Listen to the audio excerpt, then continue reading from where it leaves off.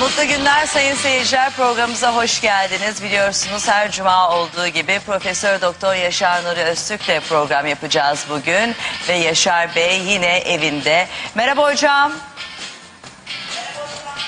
Merhaba sabah. Nasılsınız? Hocam bugün daha iyi gözüküyorsunuz. İyi iyi. Bugün daha iyi gözüküyorsunuz geçen haftadan maşallah. Vallahi iyiyim. Oraya da gelebilirdim ama doktor Özcan Bey bu hafta da Hocam bu Özcan çıkma, Bey beni hava sevmiyor çok kirli, galiba. kalabalık yerlere. He? Beni sevmiyor galiba Özcan Bey. Niye hiç yollamıyor sizi buraya? Hayır, ta, tam tersine olur mu? Şaka yapıyorum zaten. Yani bir yanlış yaparız ondan sonra hiç Yok. gelemem. Ne olacak? Yok hocam gerçekten hep onu söylüyorum zaten kaç haftadır siz iyi olun sağlıklı olun önemli değil nasıl o veya bu şekilde bir bağlantı kuruyoruz sizinle konuşuyoruz sizden bilgileri alıyoruz. İyisiniz mutlusunuz E yani- keyfiniz yerinde İyi miyim? Yani deveyi yuttuk kuyruğunda boğulmayalım. çok doğru söylüyorsunuz İnşallah haftaya ben de size sütlaç yapmıştım hocam ama işte gelemediniz. Ya sen şimdi sütlaç, kabak tatlıları, e, mahallebiler geliyor sağ olsun sevenlerimiz. Orada bir sıkıntı yok. Aa, aa, hocam ne ayıp ayol benim yaptığımı yemeyecek miydiniz yani nasıl geliyor diye. Aa, Tabii yiyeceğiz. herkesten gelmesi Onu da- başka onu benim da yapmam yiyeceğiz. başka. Şaka zaten ben nereden becereyim sütlaç Ama- yapmayı. Şimdi bu- bugün başka bir keyfim var benim. Bir Belli haber yüzünüzden duydum. belli bir şeyler Epey olmuş. üzerinde çalışılıyordu. O 20-30 kişilik bir entelektüel grup. Şimdi e, Ezber Bozan Derneği kuruluyor. Hadi hayır. Başlangıç olarak da ezberbozan.tv site, web sitesi kuruluyor. Bugün ünlü diş doktoru İlker Erdoğan bunun başını çekenlerden biri. Yine ünlü avukat Medya Tanır, Engin Yeşillik. ne yapacaksınız bu haberi ezber- verdiler. Aa, o Yaşar Nuri fikriyatını eee, tanıtacak, gündem yapacak, sohbetlerle bunu haftalık sohbetlerle devam ettirecek e, bir yeni bir sistem. İleride açılımını göreceğiz ama çok sevindirici bir haber. Hadi inşallah. Ezber Bozan Derneği adı evet. Adı da güzelmiş, ilginçmiş. Hayırlı uğurlu olsun hocam. Hocam şimdi ben hafta içinde düşündük. Dedik ki e, sizinle beraber ayetlerin e, Kur'an'daki ayetleri sırasıyla sizin de e, bizim önümüzde var. E, Kur'an-ı Kerim ve Türkçe meali sizin yazmış olduğunuz. Buradan ayet ayet gidelim. Siz ayetleri bize okuyun, açıklamalarını yapın. Tabii ki diğer sorularımız olacak. izleyicilerden gelen diğer sorular da olacak ama yani alıp da okuyamayabilirler ya da e, anlayamayabilirler. Biz sizden bu şekilde e, bilgilenelim diyorum. Ne dersiniz? Çok çok güzel, çok isabetli. Ben onu söylüyordum ona kimse cesaret mi edemedi, nasıl oldu, gündem mi uygun düşmedi, o düşünüldü yapak e, sana nasip oluyor. O demek ki Allah'ın e, sana lütfu. O, o lazım. Yani oradan gitmek ve söylemleri zaman üstü bir temele, bir metafizik temele dayandırmak en doğru yoldur. Evet bu şekilde yapacağız. Zaten e, hemen şu anda başlamayacağız bunu yapmaya. Yani yaklaşık bir yarım saat içinde başlayacağız. Çünkü gelen sorular da var. O sorulara Evet, da evet. cevap vereceğiz. Ondan sonra e, bu Senin şekilde... elindeki şey e, Sabahcığım senin elindeki Kur'an-ı Kerim düz sıra mı yoksa inişli mi? O yeşil mi? Yeşil. Yeşil yeşil. Düz sıra yani hocam. inişli değil. Düz sıra. Evet. Peki Keşke hocam. bu inişli olan laciverti alsak da buradan gitseydik. Çünkü iniş sırasına göre verdiniz mi? Hocam şimdi onu çok daha muhteşem yerine oturuyor mesajlar. Evet doğru söylüyorsunuz ama herkesin Ama o elinde... da olur fark etmez. Evet herkes elinde düz sıra olmuş olduğu için hani o şekilde gidersek daha iyi olacağına inandık. Ama peki ben onu soracağım. Olabilir, İniş, olabilir. iniş sırasıyla e, Kur'an'daki ayet sıraları neden farklı? O zaman onu sorayım ondan sonra diğer sorulara geçelim. Sonra da açıklamalarına Efendim? geçelim. Şöyle, Kur'an-ı Kerim'in ayetlerinin yerlerini bizzat Peygamberimiz Cebrail ile birlikte belirlemiştir. Onlar değişmez. Fakat surelerin tertibi serbest bırakılmıştır. Sahabe bu sureleri çeşitli şekillerde büyüklüklerine göre, konularına göre kendi anlayışıyla tertip etmiştir. Çünkü serbest bırakılmıştır. Bazılarının elinde de iniş sırasıyla vardı. Mesela Hazreti Ali'nin mushafı iniş sırasına göreydi. İniş sırasına göreydi ve Peygamberimizin ayetlerle ilgili yaptığı özgün açıklamaları da Hazreti Ali tabi kültürü en yüksek sahabi o kenarlara şerh olarak vermişti. Peygamberimiz burayı şöyle açıkladı, böyle açıkladı. Maalesef Hazreti Ali düşmanlığının öncüleri Emevi kodamanları Hazreti Ali'yi yok ettikleri gibi bu mushafı da yok ettiler. Fakat mesele değil, surelerin tertibi serbest bırakılmıştır. Tabi mesele değili tırnak içinde kullanıyorum. Çok mesele de Kur'an'a dokunan bir tarafı yok. Peygamberimizin sözleri gitmiş. Esas hadisler onlardı. Onları yok ettiler.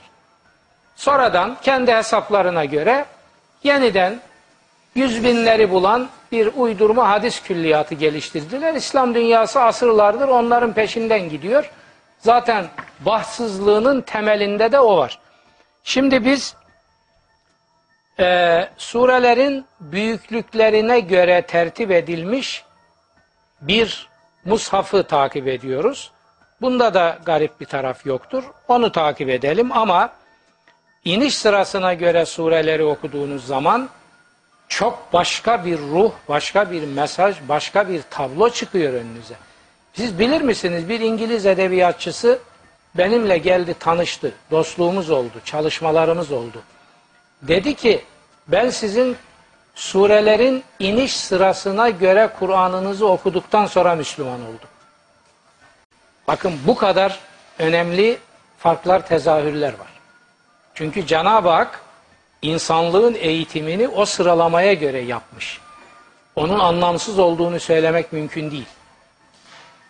Fakat diğeri de uygundur. Biz o bağlantıları kurarız. Bu sure iniş sırası ile şudur deriz.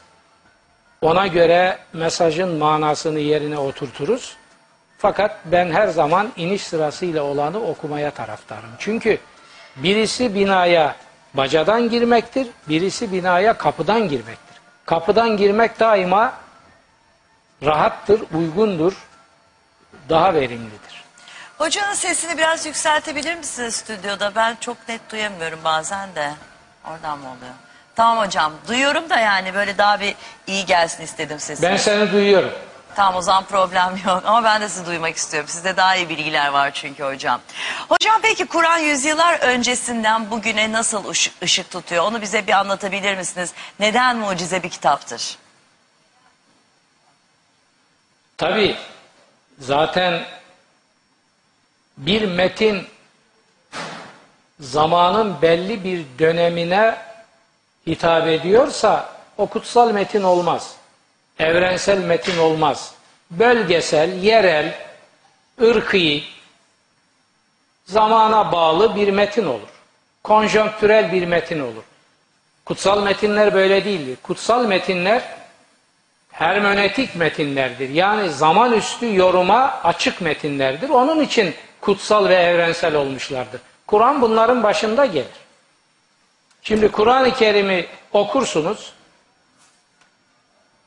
Hem geldiği zamana vereceklerini verir, hem bugüne vereceklerini verir, hem yarına vereceklerinin orada saklı olduğunu görürsünüz. Muhammed İkbal Kur'an'ın bu tarafına temas ederken diyor ki onun ayetlerinde asırlar gizlenmiştir. Hakikaten öyledir. Tabi bize Kur'an'ı mezarlık kitabı olarak sadece laf sözlerini telaffuz etmeyi bıraktıkları için biz Kur'an'ın bu tarafından hiç haberdar olamadık. Bin senemiz böyle geçti gitti. İnşallah İslam dünyası bu badireyi aşar. İslam dünyası bunu aşmazsa Başka dünyaların insanları bunu bir gün fark edecektir. Yani İslam dünyası ya bunu aşıp bu kitabın insanlık tarafından tanınması için öncülük etmelidir yahut da hiç olmazsa aradan çekilmelidir. Ki insanlık Kur'an'la temas etsin. Şimdi İslam dünyası insanlığın Kur'an'la teması da en büyük engel. Bakıyor Müslümanlara adam. Ha Kur'an bunların kitabı mı diyor. Canım olmaz olsun diyor. Ondan hayır gelse bunlara hayır olurdu. Birileri çıkıp insanlığa anlatmalı ki Müslümanların dininin bugünkü şekliyle yaşadıkları dinin arkasında temelinde Kur'an yoktur. Kur'an'ı ayrıca insanların ele alması lazım. İslam dünyası bugün Kur'an'ın mümini bir dünya değildir. Bunu asla kabul etmiyorum. Ve bu camilerde anlatılan din de Kur'an'ın getirdiği din değildir. Onu da kabul etmiyorum.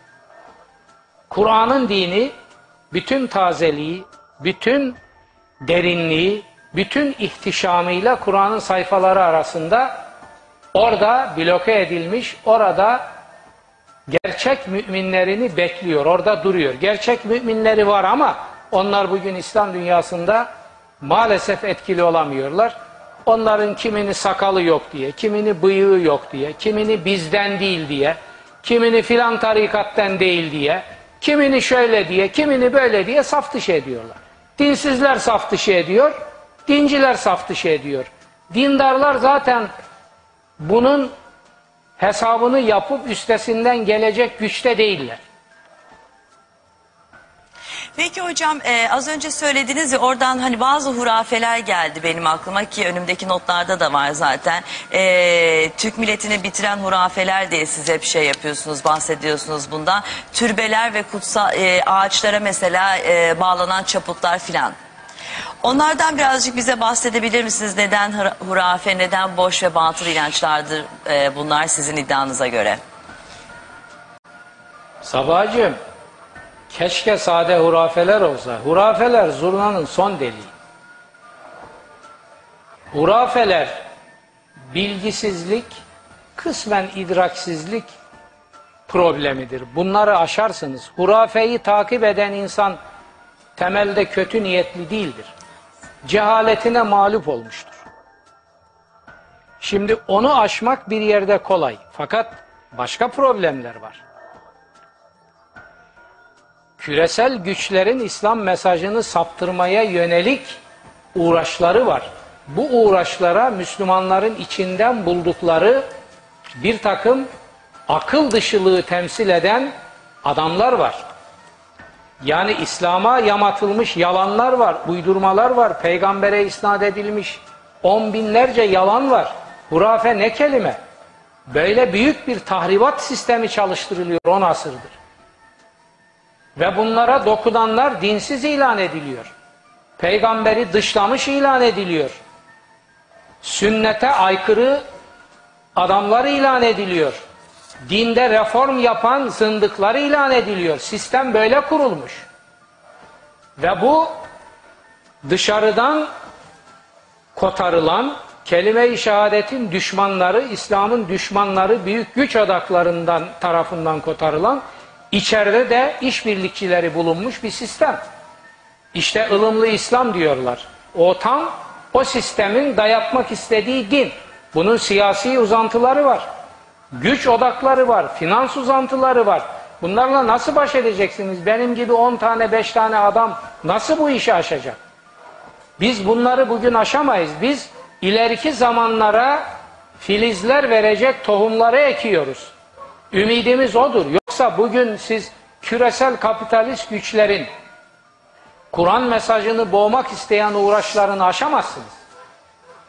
Hocam peki mesela şu e, bu hurafeyi uygulayanlar mesela az önce bahsettiğimiz hurafeleri muratlarına nail olacaklarına, hastalıktan kurtulacaklarına, bahtlarının açılacağına, işte türbede yatanın kendisine yardım edeceğini e, inancıyla gidiyorlar oraya. Ve mesela oralarda da hep işte ben işte bilmem nereye işte mum diktim oldu falan filan diye de böyle a, e, kişilerin arasında e, olan bazı söylentiler var. Ne diyorsunuz bunlara? Yani bunlar olma, olmaması gereken. Ve bunların hepsi bunların hepsi Kur'an'ın ve Hazreti Muhammed'in yıktığı şirk kalıntılarıdır. Kur'an onları yıktı, birileri sonradan onları Kur'an'ın dini diye allayıp pullayarak Müslümanların hayatına soktular.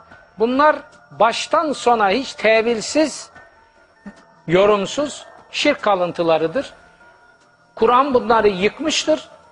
Şimdi bunları Kur'an'ın dini adına ihya ediyorlar. Onlara acırım. Onlar kötü niyetli değil. Bir şey yaptıklarını zannediyorlar. Fakat maalesef bunun hesabını Allah'a çok ağır biçimde verecekler. Yaptıkları açıkça müşrikliktir. Peki türbe ziyaretleri nasıl olmalı hocam? Türbe ziyareti diye bir şey yok. Mezar ziyareti. Tamam mezar ziyareti diyelim o zaman. Mezar ziyaretlerinin sebebini Peygamberimiz söylemiş. Size ölümü hatırlatır, mezarları ziyaret edin. Yasaklamıştı sonra serbest bıraktık. Gerekçe budur. Ölümü hatırlatır. Türbe ne demek ya? Türbe diye bir, şey- bir, bir şey yok. Türbe Hocam mesela evliyaların filan mezarları var. Onlar, kavramdır. evliyaların filan mezarları var. Onlar He? ziyaret edilmemeli mi? Evliyaların filan da mezarları var. Onlar ziyaret edilmemeli? Evliyacılık da bir şirktir. Evliyacılık da bir şirktir sabah.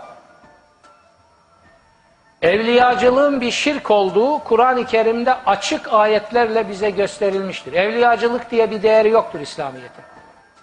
Bütün müminler, hakiki Kur'an müminleri Allah'ın velisidir, dostudur yani. Bunun ayrı bir sınıfı, ayrı bir kıyafeti, ayrı bir ekolü, ayrı bir branşı, ayrı bir ekibi olamaz. Bunlara Kur'an şeytan evliyası diyor. Kim Kur'an'ın hakiki mümini ise o Allah'ın velisidir. Hocam çok kısa. Onun dışına bu işi taşıranlar şirke gitmişlerdir.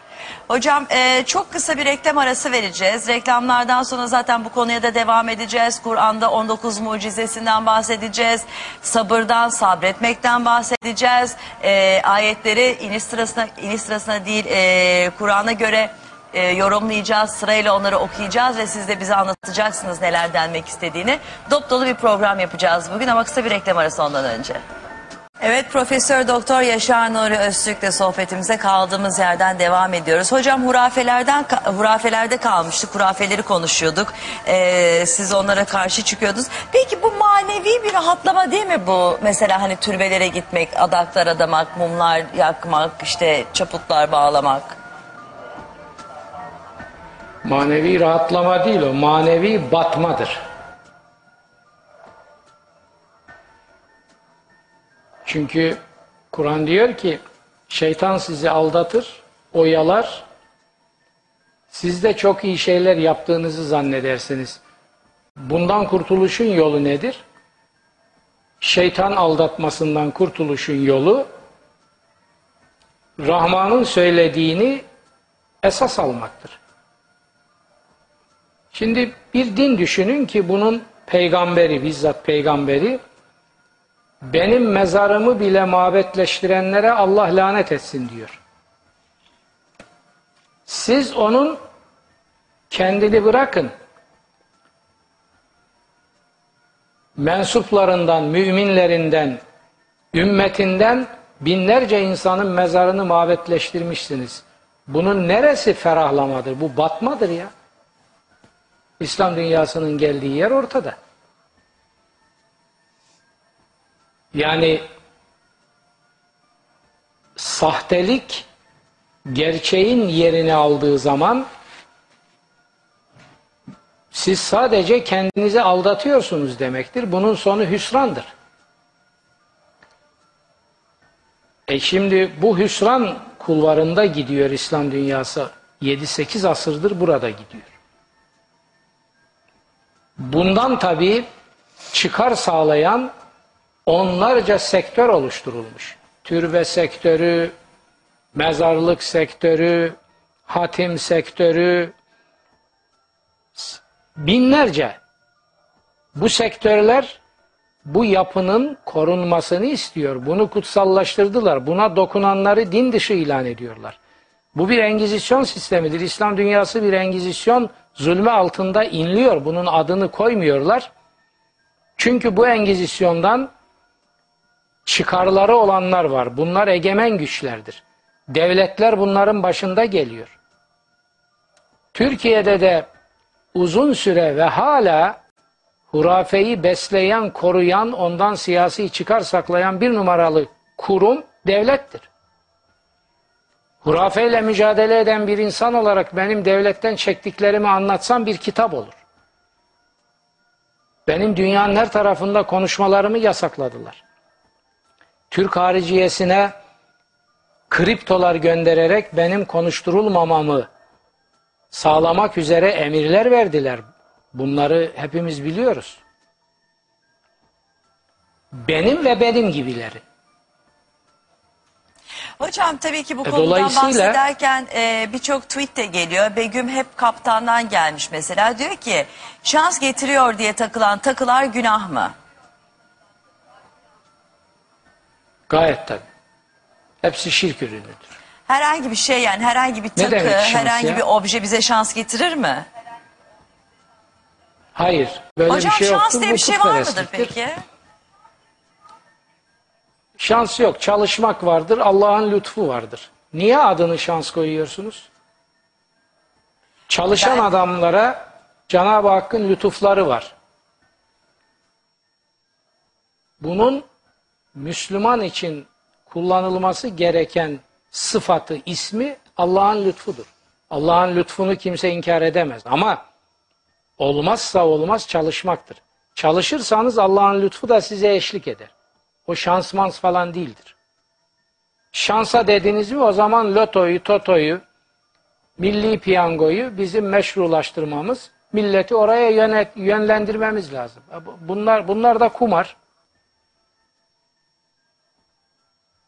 Yani Kur'an bakın ilkeyi nasıl koymuş. O ayete geleceğiz Necim suresinde o. İnsan için çalışıp ürettiğinden başka hiçbir şey yoktur. Ve en leyse lil insani illa ma sa'a. Matematik formül. Tamam mı? Başka bir şey yok. Şans, iltimas, kayırma. Bunlar Allah'ın kanunlarında yeri olmayan şeylerdir. E, çalışırsan kendi şansını kendin yaratırsın. Kendi, e, değil mi? Onu demek istiyorsunuz yani.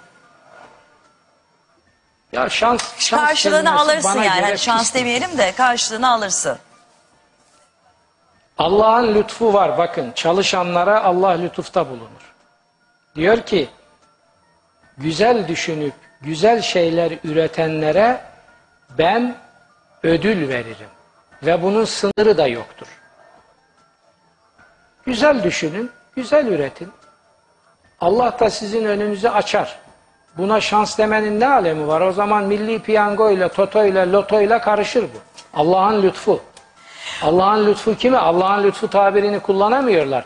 Çünkü o çalışan samimi insanlara gelir. Onu kullanamıyor çünkü Allah'ın adamın Allah'la bir işi yok. Şans diyor. Kader kısmet diyor. E, biz gevezeliyor. Hocam şimdi e, deminki hanımın, e, de, deminki izleyicimizin soru, sorusuna istinaden soruyorum. Mesela şimdi böyle moda, yeni Şu moda... sesini biraz artırır mısın? Zor duyuyorum seni. Hocam duyuyor. Tamam. Ha. Ee, hayır şimdi böyle moda olan bir takım kolyeler var işte melekli kolyeler var Ee, yok efendim tılsımlı kolyeler diye satılıyor yok bir, bir bileklikler var bunu takıyorsun kopunca dileğin olacak filan ne diyorsunuz bunlar için? Külluhu şirk ürünüdür. Yani siz Kur'an ayetlerini malzeme yapmakla şirkten kurtulamazsınız. Ben boynuma filan ayeti asarsam şu kısmetim açılacak. Yani böyle mesela kolyeler taşıyıp yaşı 40'a gelen tohuma çıkan nice hanımlar tanırım ben. Kısmeti bir türlü açılmıyor. Hocam hocam ne demek yaşı kırka gelen tohuma kaçan hocam? Size siz kendi Yani hiç, sesinizi de duymuyorsunuz hiç, galiba. Hiç bugün. dünya evine girmeyenleri kastediyorum E canım. tamam aa hocam ben de girmedim. Canım olur mu? Şimdi karıştırma oraları. Hocam Sen siz dünya evine hiç karıştırıyorsunuz girmedin. ama Ne demek? lütfen hocam alınıyorum. Yok ben Hocam ben düşünelim ilkeyi biraz veriyorum. konuş- Sen o ilkeye uymuyorsun. evet ben ruhum benim ruhum büyümedi de ondan ruhum genç de. Ama olsun hocam gene de 40 yaş artık hiçbir şey değil. Aa, bozulurum. Ya Yok, şimdi buradan problem- programda programda iltifat mı yapalım? Senin ruhun da genç, bedenin de genç. Sen Türkiye'nin en güzel kadınlarından birisin. Şimdi bunu Ay söyletmek için hocam. beni tahrip ediyorsun. Yok benim Aha da söyledim. Ah çok teşekkür ederim ama ben bunu söyletmek için söylemedim onu. Hayır çünkü artık hani 40 yaş çok büyük bir yaş değil. Hani benim tamam öyle bir kompleksim de yok çok şükür ama e, olanlar da vardır yani. Onun Ya için öyle şunu bir demek istiyorum. şey 40 yaş, yapmayalım. 40 yaş büyük bir yaş değil tartışılır. Ben şunu diyorum. Yani onu reddediyor, bunu reddediyor, ötekini reddediyor. Benim diyor boynumda asılı tılsımım var. Bana ideal bir prens getirecek diyor. Ondan sonra e, tohuma çıkıyor. Yani ne var bu, bunu söyledim diye bir şey yok ki bunda. ama o çok yani o bayağı şey beyaz atlı prensini beklemiş yani. Ondan mı? Ya beyaz Olsun. atlı Ama o da zor bir şey hocam Ya- gerçekten. Hani siz de kaç kere evlendiniz ettiniz. Hani doğru insanı bulmak, onu kabul etmek kimisin karşısına Kaç çıkmıyor. kere yok? İki, iki kere, iki kere. E tamam kaç işte. kere, kaç kere deme ya. Sen programına 8-10 defa evlenenleri çıkarıyorsun. Şimdi kaç kere dedim mi ben de oraya girebilirim. İki Birin kere. üstü, birin üstü olunca benim için kaç kere oluyor?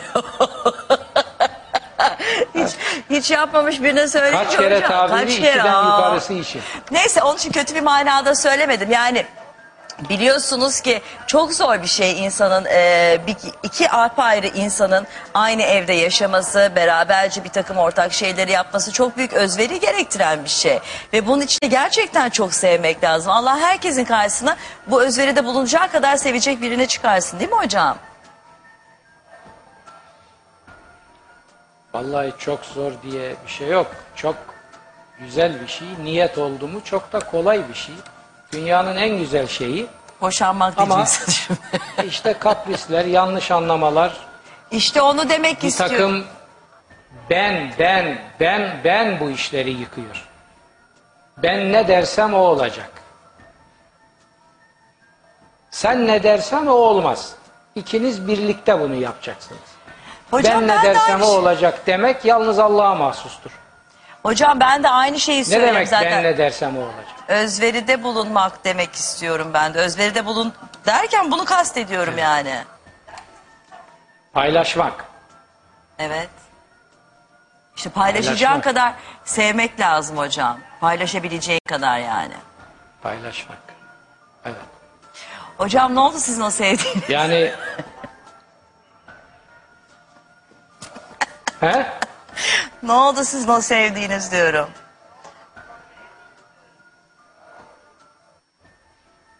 Seviyorum Her abi. şey yerinde gayet güzel. Maşallah. Maşallah. Maşallah dedim bir şey Canım o yıllardan beri yıllardan beri sürüp giden e, bir sevdadır. E, iyi olacak inşallah. İnşallah. İnşallah. O üç günlük, beş aylık, altı aylık bir iş değil. Onu anladık O derin zaten. bir, Onu anladım zaten söylediniz. derin bir e, sevgidir. Evet. Hocam bir şey o, o hiç evlendi mi? Hayır. Ay hocam Hayır. ben değişmek istiyorum da korkuyorum sizden.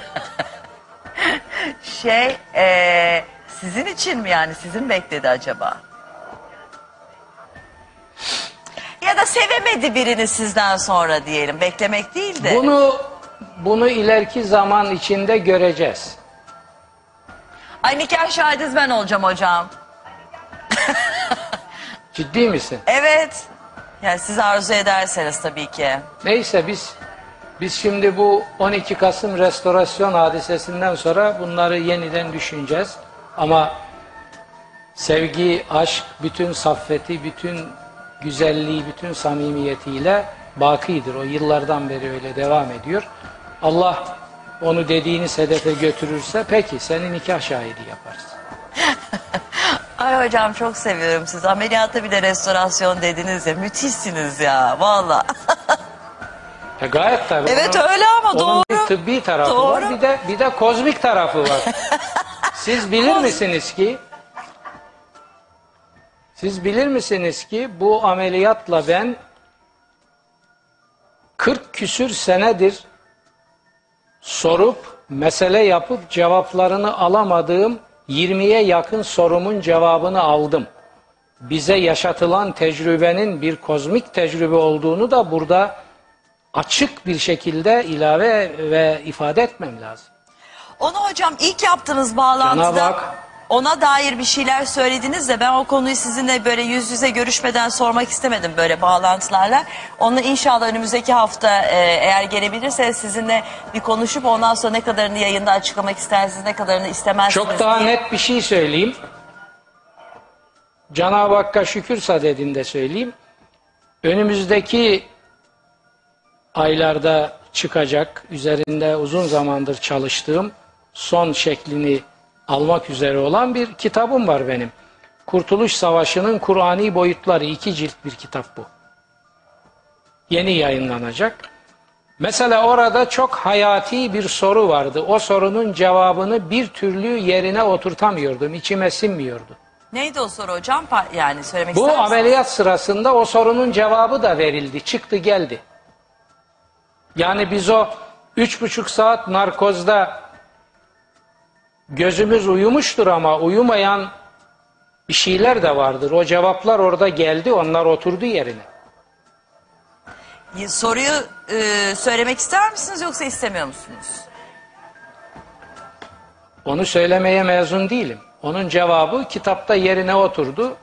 Kitap yayınlanacak şimdi. O soruya takılı duruyordu. Hocam yayınlanmaya yakın o ne zaman yayınlanacak? Yayınlanmaya yakın biz konu yapalım bunu.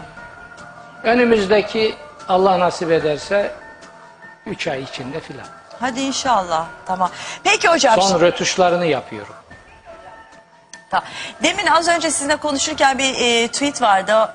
Ha, şimdi e, diyor ki Yasemin Hanım. Hocam benim arkadaşım Telli Baba'ya gitti. 3 ay sonra evlendi. 4 yıldır evli ve çok mutlu. Ben de inanıyorum diyor. Şimdi onun zaten evleneceği mi varmış? Telli babaya gitmese evlenemeyecek miydi? İşte ben de onu soruyorum. Telli babaya. Yani ben öyle bir hanıma size çok uygun bir aday var. Ben kendisini insan olarak takdir ediyorum. Size uygundur desem evlense ben de şimdi Yaşar baba mı oluyorum? Babayla dedeyle ne ilgisi var bunun ya? Bakın bunlar kendi zaaflarını, şeytani vesveseleri bir delil gibi öne çıkarıyorlar. Yazık. Hiç kimse bir türlü Allah diyemiyor, peygamber diyemiyor, Kur'an diyemiyor. Telli baba, kıllı baba, tüylü baba, bu işte şamanizmden gelen şuur altının böyle pis bir şekilde hortlaması bunlar. Ben bunlardan iğreniyorum ve nefret ediyorum. Hocam Bunlara prim verdiğim zaman Kur'an'ın beni azarladığını duyar gibi oluyorum. Haşa. Kur'an'ın azarlayacağı bir iş yapmaktan Allah'a sığınırım. Telli babaları onların olsun, Kur'an bizim olsun. Hocam bizim oralarda birçok kişi muska takıyor. Muska takmak ve yazmak günah mıdır demiş Metin isimli izleyicimiz. Evet, günahtır. Neden hocam? Evet. Peygambere soracaksınız. Ben bunları yıkmak için, yok etmek için geldim. Bunlar nedir üstünüze, başınıza takıyorsunuz diye çok ağır ithamlarla azarlamıştır. Eşi Hazreti Ayşe aynı şeyi yapmıştır. Kayınpederi Hazreti Ebu Bekir, Hazreti Ömer zaten bunu yapanların çoğuna dayak cezaları bile vurmuştur. Yani bu şirkle mücadele sahabe neslinde çok muhteşem tablolarla bizim önümüze konmuştur. Biz onları unuttuk şimdi. Onlardan bahseden yok. Sahabenin adı geçti mi sonuna bir rea koy. Radıyallahu anh de sahtekarlık yap. Böylece sahabe işini kapat. Peygamberin adı geçti mi bir sease ko. Koy oraya bir rumuz. Onu da öylece kapat. Peki bunların bize gösterdiklerinin hayata girmesi ne olacak? Oraya dokunma diyor. Orayı bırak.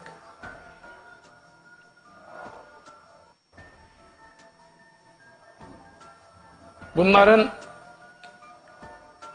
peygamberin şikayetine, sahabenin şikayetine, gerçek İslam alimlerinin şikayetine maruz kalacaklarında en küçük bir şüphem yoktur. Uyarıyoruz. Dinleyen dinler, dinlemeyen bulacağını, müstahakını bulur. Gideceği yere kadar gitsin. Hocam mesela şey de var hani e, o ona psikolojik olarak iyi geldiğini inanıyor.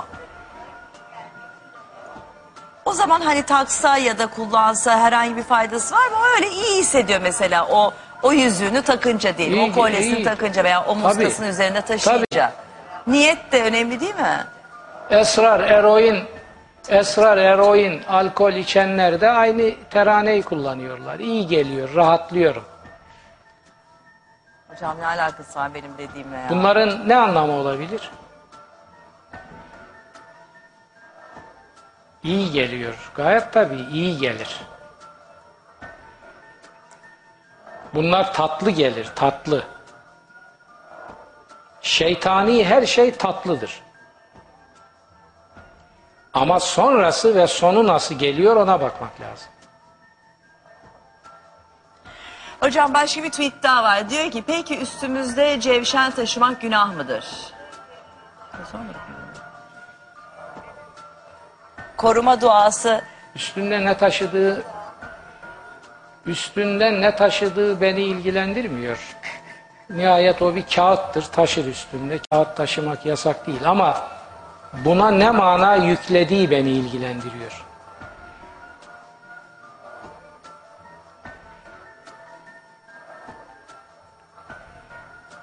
İçinde ne var onun o beni ilgilendiriyor. Kur'an'ı da üstünde taşıyarak Kur'an'a saygısını yerine getirdiğini zannedenler var. Üstünde taşımak ne demek? Kur'an üstünde taşımak için gönderilmedi ki, okunsun diye gönderildi. Ya duvara as, ya üstünde taşı. Yok böyle, böyle bir değer yok. Okuyacaksın. derler Üstünde ki taşımak. e, Ataker, Ne derler? Ataker isimli izleyicimiz diyor ki e, hocam hamile kalamıyordum. Papaza gidip karnımı okuttum. O ay içinde hamile kaldım. Ben bazı yerlerin mucizesine inanıyorum. Bilirim. Ben o okutmaları bilirim. Tabii. Beni konuşturma Safa. Beni konuşturma. Ay hocam çok şekersiniz. Beni konuşturma. Papaza gitmiş ateş okutmuş. bastı. Tabii. ama ne güzel. Olsun yani. Beni konuşturma. Olsun ama ne güzel hani çocuğu olmuş sonuçta bir sonuca bakalım istiyormuş arzu ediyormuş en azından çocuğunu kucağına almış Allah analı babalı büyütsün inşallah. Beni konuşturma. Cevap bu. Bir şey demedi. Ay. Hocam şeyde e, Kur'an-ı Kerim'de nüfus artışı ile ilgili e, herhangi bir şeyden bahsediliyor mu? Uyarılar var mı bu konuyla ilgili? Çok bahsediliyor. Ne deniyor? Biraz bu Şimdi konu biraz bu konuyu Küresel konuşalım. afetler ha. Küresel Afetler kitabını geçen Evet. konuştuk iki programda. Şimdi bu küresel afetlerin dördüncü bölümü var. 281'den 300. sayfaya kadar tamam mı? Evet. Bu dördüncü bölümün başlığı şudur. Düzensiz nüfus artışı afeti. Kur'an-ı Kerim'e göre düzensiz nüfus artışı da küresel bir afettir. Biraz anlatabilir misiniz? Biraz açabilir Siz misiniz? bunu biliyor bu konuyu? musunuz? Vallahi şu anda duydum hocam. Tabi tabi. Bunu İslam dünyasından sakladılar. Kur'an'ın bu ayetlerinin üstünü örttüler.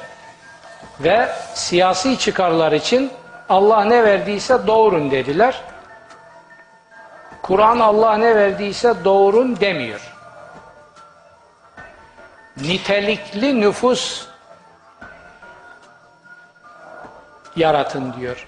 Nüfus nitelikli olsun diyor. Nitelikli olmayacaksa böyle bir nüfusun çokluğuyla övünürseniz putperest olursunuz diyor. Bu şirkin göstergesidir. Kur'an'da mesela tekasür diye bir sure var. Kısa bir suredir. Onu Allah nasip ederse ileride gelecektir bizim e, sistematiğimiz içinde. Tekasür ne demek biliyor musunuz? Nüfusun fazlalığıyla övünme yarışı demektir. Ve tekasür Kur'an'a göre bir şirk belirtisidir.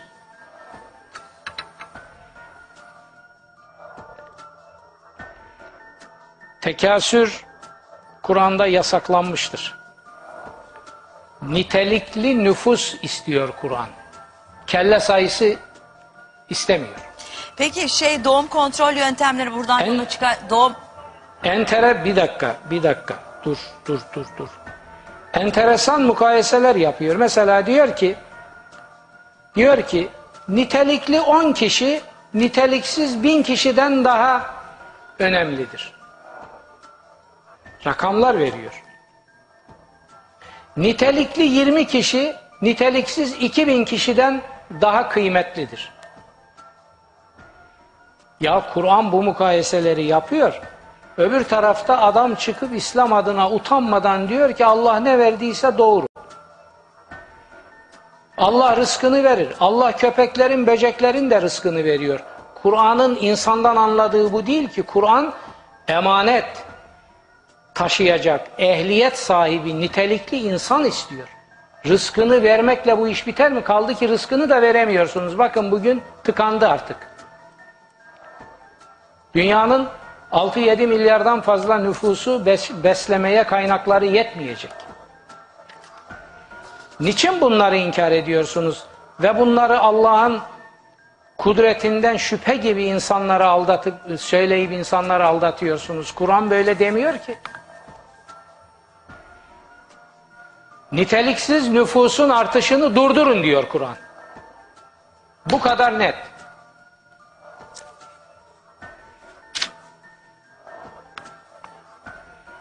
ve nüfus kontrolü yapan insanlık tarihinin ilk büyük lideri, peygamber çapında lideri Hazreti Muhammed'dir, bizim peygamberimizdir. Kendi gözetiminde doğum kontrolü yaptırmıştır. Niye bunu saklıyorsunuz insanlıktan? nasıl yaptırmıştır hocam? Niye saklıyorsunuz? Fiili sünnet ortada. Kur'an'ın beyanları ortada. Peygamberimizin uygulaması ortada. Nereden çıkarıyorsunuz Allah ne verdiyse doğrunu? Allah ne verdiyse doğrunu Peygamberimiz kontrol altına almıştır. Durdurmuştur. İslam fıkhı ortada. Bakın ben hangi başlıkları atmışım. Şu kitabın şu bölümü insanlığa hitap eden bir reçetedir. Bunu burada iddia ile kaydediyorum. Bunu millet alsın okusun. Dördüncü bölümün Küresel Afetler kitabının dördüncü bölümünün adı düzensiz nüfus artışı afetidir. Bir afettir bu. Orada alt başlıklar var okuyorum. Küresel afetlerin motoru düzensiz nüfus artışı. Düzensiz nüfus artışı küresel afetleri tahrik eden baş afettir. İkinci başlık, olumsuzluk göstergesi olarak nüfus çokluğu. Burada Kur'an ayetleri değerlendirilmiştir. Üçüncü başlık, Kur'an'ın istediği nüfus. Dördüncü başlık, düzensiz nüfus artışı ve Türkiye. Beşinci başlık, doğum kontrolü İslam'a aykırı mı? Hayır ve haşa İslam'a aykırı değil, bizzat Peygamberimizin başlattığı bir uygulamadır. Bu bölümü okusun insanlar. Demek ki Kur'an nitelikli nüfus istiyor. Nüfus nitelikli değilse bunun artışını Kur'an-ı Kerim bir afet olarak görüyor. Durdurulması lazım. Hele bununla övünmek tam bir putperestliktir. Kur'an bunu açıkça veriyor Tekasür suresinde. Peki hocam bağlantıda bir problem var galiba. Biz sizin sesinizi çok iyi bir şekilde duyuyoruz da göremiyoruz sizi. Hemen şimdi o bağlantıdaki problem giderilecektir ama duyduğumuza emin olabilirsiniz. Peki e, kürtaj hakkında neler söyleyeceksiniz hocam? Ha kürtaj olmaz. Kürtaj olmaz. Rahime düşmeden önce gerekli kontrolü yapıp tedbir alacaksınız. Rahime düşmüş olan bir cenini ancak sağlık gerekçeleriyle, doktor raporuyla izale edersiniz. Aksi takdirde bu cinayet olur. Kürtaja asla ben onay vermem. Ha annenin sağlığı söz konusuysa, doktorlar rapor veriyorsa bu alınmalıdır, şu şu şu mahsurları o ayrı, ona saygı duyar. Ha İslam alimlerinin, fakihlerinin bir kısmı da demiştir ki üç aya kadar kürtaj günah değildir. Çünkü ruh üflenmez üç ay öncesinden. Bunlar benim kulağıma girmez. Sağlık gerekçesi yoksa rahime düşmüş bir varlığı oradan yok edemezsiniz. Bu cinayet olur. Kürtaj başka bir şey. Bizim dediğimiz kontroldür. Yani rahime düşmenin önlenmesidir. Buna bizzat Hocam istemiyorlar ama kontrolde edemediler diyelim. yapılmıştır. He? İstemiyorlar ama kontrolde edemediler. İstemiyorlar olmaz. Kontrol ne demek kontrol edemiyor? 1500 sene Hocam- önce bunun tedbiri alınmış. Hocam bu konu gerçekten çok Bugün önemli bir bugünkü konu. şartlarda bunun tedbiri olmaz mı? Kimisi de yapmak istemiyor hocam yani ne bileyim ben. Bir, e, bir 10 Ben saniye anlamam. Rahime düştü mü dokunamaz. bir 10 saniye ara verelim hemen devam ediyoruz. Kendine hakim olsun. Ne halt işleyecekse işlesin.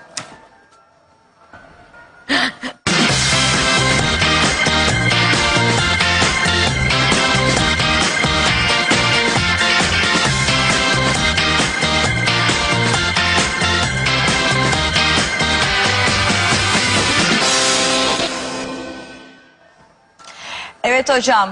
E, şey kürtaj konusundan devam edelim Şimdi istiyorsun. adam diyor ki bak adam diyor ki ben zevkime dokundurtmam. O Allah ne verdiyse doğrunun arkasında biraz da bu vardır. Tabi demiyor ki ben keyfimi, zevkimi bozmam.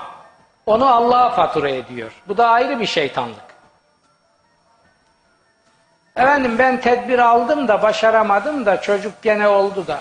Bunlar benim kulağıma girmez. Tedbirini git al. Doktorlar orada. Sağlık klinikleri orada. Tedbiri var. Nasıl alamazsın? Bö- Böyle bir şey var mı ya? Aslı saadette bile bunun tedbirleri alınıyordu. O kısır tıp imkanlarına ne yapıyorlardı? Meninin rahme girmesini engelliyordu. Azil denen bir sistemle. Dışarı boşalıyordu. Yani o günkü insanlık bir tek bu imkanı kullanarak bu kontrolü yapmış peygamberin sahabileri. Büyük sahabiler içinde var. Kitapta hepsini görecekler kaynaklarıyla. Sen bugünkü şartlarda ben efendim başaramadım da o zaman doğurur kadın. Sen de baba olarak görevini yaparsın. Öyle kürtajla. Ya bunu fabrikasyon hale getirmişler. İki ayda bir kürtaj yaptırıyor adam. Neymiş? Ben keyfimi bozamam. Kadından hareketle kontrol imkanları var. Erkekten hareketle kontrol imkanları var. Sen bunların hiçbirini kullanma ondan sonra da kemküm kemküm gakkuk. Ayıp be.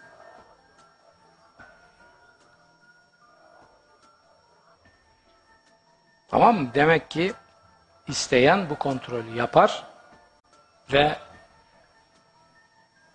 Ve bu Kur'an'ın kontrolü de istediği yapıl... ehliyetli insanı yetiştiremeyecekseniz bu kontrolü yapın kardeşim. Kur'an bunu istiyor sizden. Hocam çok... Allah rızkını verir. Allah kenelerin de rızkını veriyor. Bu insan için yeterli değildir. Allah tabii ki rızkını verir. Ya kırk ayakların da rızkını veriyor. Uğur böceklerinin de, akreplerin de, yılanların da. Sen insansın insan. Senden isteneni yerine getirecek ehliyette olmalısın. Bu olmuyorsa diyor Kur'an, bu nüfusu sınırlandırın. İşte bu kadar basit. Bunu siyasetçiler söylemez. Onların ne hayaları, ne vicdanları, ne çıkarları buna izin vermez. Biz söyleriz, biz fikir adamıyız. Hocam çok güzel bir. Siyasetçiyi dinleyecek olan onu dinlesin. Çok, Fikre ve imana saygısı olan da bizi dinlesin. çok güzel bir tweet geldi. Hiçbirine saygım yok benim diyen de gitsin gideceği yere. Hocam çok güzel bir tweet gelmiş. bir de çok tartışıyor. Yani gülüyor ben size gülüyorum yani. Kırk ayaklarda kaldım ben. Ee, şey... Ee, çok da tartışılıyor bu konu biliyorsunuz. Diyor ki Serpil Hanım, ee, taşıyıcı anne kullanmak doğru mudur? Ne? Taşıyıcı anne, taşıyıcı, Taşıyıcı anne. anne mi? Evet. Şimdi mesela diyelim ne, ki... demek o? Şimdi diyelim ki mesela benim çocuğum Anlamadım. olmuyor. Ondan sonra gidiyorum mesela Ayşe Hanım'la anlaşıyorum. Ayşe Hanım e, hamile kalıyor benim eşimden. E, ondan sonra da işte o taşıyıcı. Kapat kapat kapat kapat sabah. Ay ya. sinirim bozuldu. Ya bu ne biçim Klimaları tweettir açtırsana. bu? Tweet midir, ifrit mi nedir? Hocam hayır bu konu Ya hocam böyle bir sperm rezillik hayır olur mu? hocam şimdi mesela sperm ban- bankaları falan var ve dünyada çok yaygın bir yöntem. Bakmayın siz ben de bir söylediğinize takıldım ondan gülüyorum. Ee, Bir de sizin yüzünüzün ifadesine gülüyorum. Ee, bu çok yaygın bir yöntem ve Gerçekten de çocuk sahibi olmak isteyen ve olamayan birçok insan var. Mesela kadının olmuyor fakat eşinin Evlatlık oluyor. alsın, evlatlık. Hocam evlatlık almak kolay bir Bunu şey İslam değil. kabul etmez. İslam bunu kabul etmez. Sen gidip o zaman müsaade etsin o kadınla evlensin ikinci eş olarak. Oraya izin var. Oradan çocuk doğsun. Onu niye kabul etmiyor? Hocam ama yani şeyde cinsel ilişkide bulunmuyorlar bu şekilde yani kalkıp da o iki e, yani onun kocasıyla diğer hanım bir arada olmuyor. O tıbbi müdahalelerle o Fark şeye etmez. hamile kalınıyor. Mesela sperm Fark bankasından etmez. da çocuk Fark yapan çok etmez. insan var. Si- si- Sperm bankasından kendi erkeğinin nikahlısının spermi olursa orada problem yok. Niyeyse kendi erkeğinin olsa zaten Ama niye başka birinin sperm spermi bankasına? olursa o piç üretimine girer. Bip. Ay hocam yani. Vallahi ben bip. sözü tam söylerim. Kusura. Tamam tamam. Hayır ama şimdi zaten kendi kocasının çocuğu oluyorsa kadın niye sperm bankasına gitsin hocam? Olmuyorsa gidebilir mi yani? Ha işte onu soruyorum size sperm bankası var ve dünyada bu şekilde hamile Olmaz. Kendi kocasından olmadı mı olmaz. Demin dedim onu. Bir daha tekrarlatma bana. O başka bir üretimdir. Ona İslamiyet izin vermez. Ben de insan olarak iğrenirim ondan. Çocuğun yoksa yok kardeşim. Kıyamet mi koptu? Hocam öyle demeyin ama çok insan yani hani insan da Ya, e- sonuçta evlatlık üremek al. için geliyor. Üremek istiyor, istiyor çocuğu evladı Hayır efendim. olsun. Evlatlık al meşru olanını yap. Çocuğum olacak ne ben piç üretiminden faydalanayım. Böyle bir şey var mı ya? Şimdi buna fetva mı istiyorlar bizden? Allah Allah. Başka bir kadından. O zaman müsaade et kocan onunla evlensin. İzin var ona. Ondan çocuk doğsun. Tamam. Yok öyle olmayacak. Benim kocam başka Hocam birine... çocuğu zaten alıyorlar kendi nüfuslarına. Şimdi karşı taraf da razı, her iki taraf da razı diyelim. Razı mazı yetmez. Söyledim ben. Kadın nikahlı kadın olacak veya kadın olmadan tüplerde müplerde aynı adamın sperminden olursa o da olabilir. Onun Anlamadım. dışındakiler dediğim gibi piş üretimine girer. Hocam anlamadım tüplerden müplerden dediğiniz yani e zaten ha tüp bebeği okey veriyorsunuz Yani mu? şöyle bir şey ben şöyle yani erkeğin spermi tüplerde filan mı tüp bebek diyorlar. tüp o bebek demek tüp değil mi? bebek tüp. Oralarda dölleniyor. Sonra spermin sahibi olan erkeğin meşru eşinin rahmine getirilip konuyor. Burada bir beis yok olur. Bundan yararlanırsınız. Ama kadın o adamın kadını nikahlısı olacak. Sperm de o adamın spermi olacak. Nikahsız kadın veya başka bir sperm devreye girdi mi piç üretimi denir buna. Hocam siz seviyorsunuz bu üç harfli şeydeki kelimeleri. Neyse. E, çok güzel bir soru var. E, demin söylediğinize istinaden. Peki ya tecavüze uğrayanlar hamile kalırsa o zaman ne olacak diyor. Onu hukukçularla konuşacağım. Kürtaj, Beni hayır, avukat kür- olarak hayır, çağırırsanız onu konuşurum. Hayır kürtaj o zaman caiz midir diyor. Onu hukukçularla konuşun ve doktorlarla konuşun. Eğer kadının Hocam orada bir Ruh mağduriyet var hayatını yani tecavüz, mahvedecek. tecavüze uğramış. bir dur ya konuşuyorum anlatayım. Büyük tahribatlar yapacaksa psikiyatrlar, doktorlar buna olmalıdır dedi mi olur. Yani bazı tecavüzlerin arkasından evleniyorlar. O iş öylece kapatılıyor. Dizilerde de var. Görüyoruz. Ama olmuyorsa o zaman adama gerekli cezayı vereceksin. Neyse. Yani bana göre idama yakın bir ceza olması lazım bu hayvan için. Kadının da eğer ruhi hayatı mahvolacaksa böyle bir böyle bir ürünü karnında niye büyütsün? O zaman doktorların raporuyla bunu alırlar. Yani o doktorlarla hukukçuların ortak kararıyla olacak. Anladım. Değil mi? Hocam peki biraz da eee, bu az önce bahsettik eee, yani konuşacağımızı söylemiştik. Kur'an'daki 19 mucizesinden bahsetsek. Nedir 19 mucizesi? Ha bir dakika bir dakika bir dakika ona geçmeden önce Evet, çok güzel bir bu- soru. Bir dakika hocam bir dakika. Eee, genetik cinsiyet seçimi hamilelikten önce çocuğun cinsiyetini belirlemek caiz midir?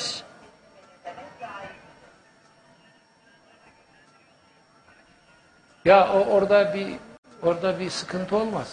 Yani hani çocuğum işte kız çocuğu olsun erkek çocuğu olsun böyle hani bir şeyler yapıyorlarmış. Olur. Ne tabii hiçbir hiçbir engel yok. Belli biz de belirledik çocuklarımızın cinsiyetini doğmadan hemen hepsini e, doktorlar baktı söylediler bize. Ne var? Hayır, doktorun Gayet- söylemesi değil hocam. Doktorun söylemesi değil. Doktor söylüyor zaten. Gördüğünü söylüyor. Ama hamile kalmadan önce veya hamilelik döneminde de böyle hani ilaçlarla bir takım şeylerle işte benim kızım olsun istiyorsam kız yapmam gereken şeyler. işte erkek olsun istiyorsam yapmam gereken şeyler. Yani hani Allah ne verdiyse değil. Vallahi bilmiyorum bu yeni bir şey ama bana göre meşru baba, meşru anne zemininde bunun yapılmasında da bir engel yoktur. Hocam burada da ego devreye giriyor ama. Ama bir de Diyanete sormak lazım. Öyle Efendim? değil mi? Ego devreye girmiyor mu burada annenin Ne, babanın? ne giriyor devreye? Ego ego mesela ben illa, baba ha- illa ki erkek çocuğu olsun istiyor mesela yani hani bu da bir ego sonuçta yani. Bırak şimdi egosunu megosunu. Hayır efendim bu dini bir engel çıkarmaz. Egosu. Egosu ise egosu. Bize ne? Olabilir yani. Yani anne meşru, baba meşru.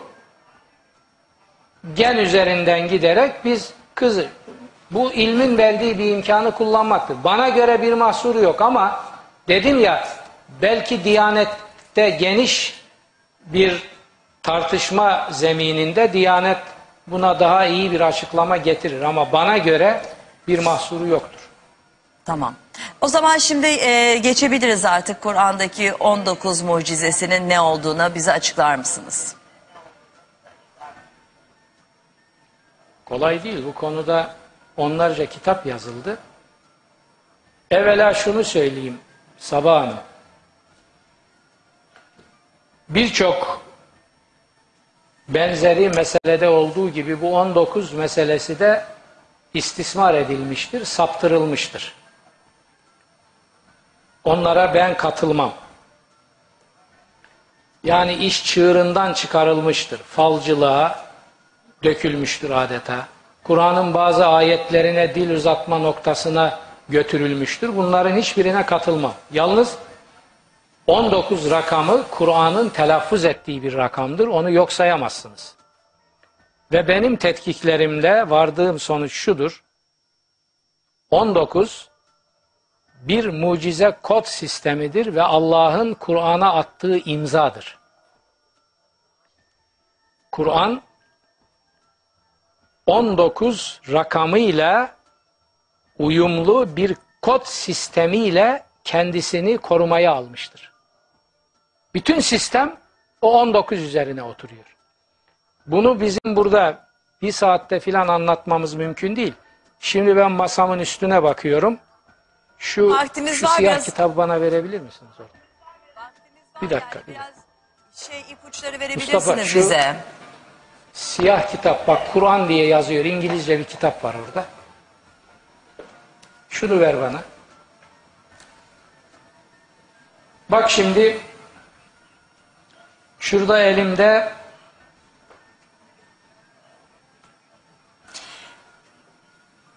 e, Kur'an diye bir bir kitap var. Bu İngilizce bir yayın.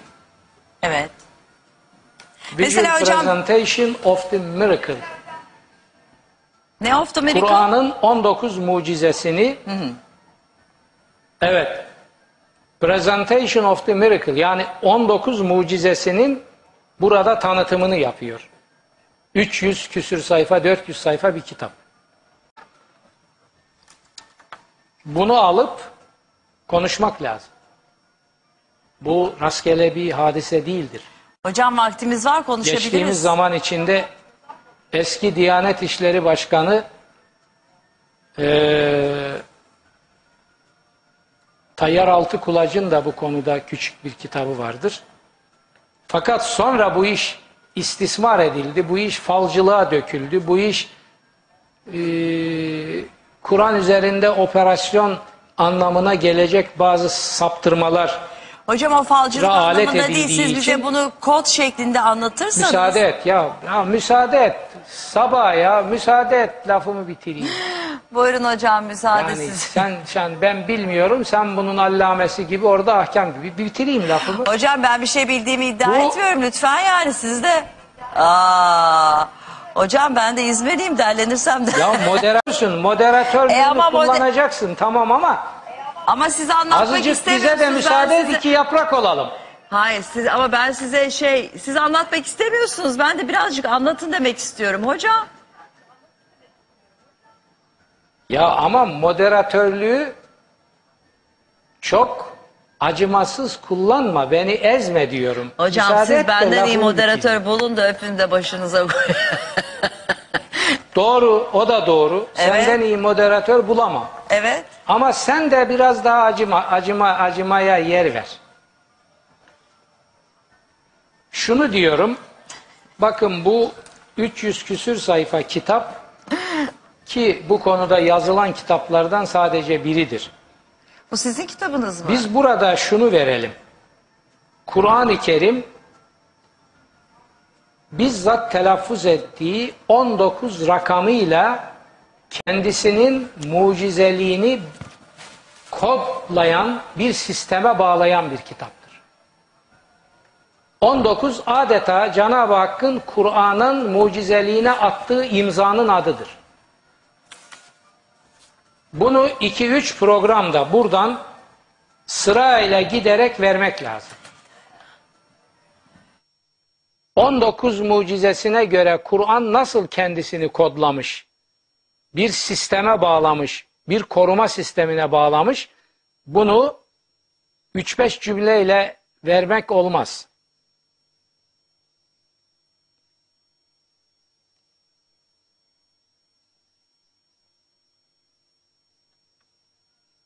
Şimdi Kur'an-ı Kerim'de bakın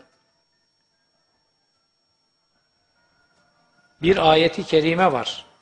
Hicr suresinde. Diyor ki biz bu Kur'an'ı biz indirdik. Onu koruyacak olan da biziz.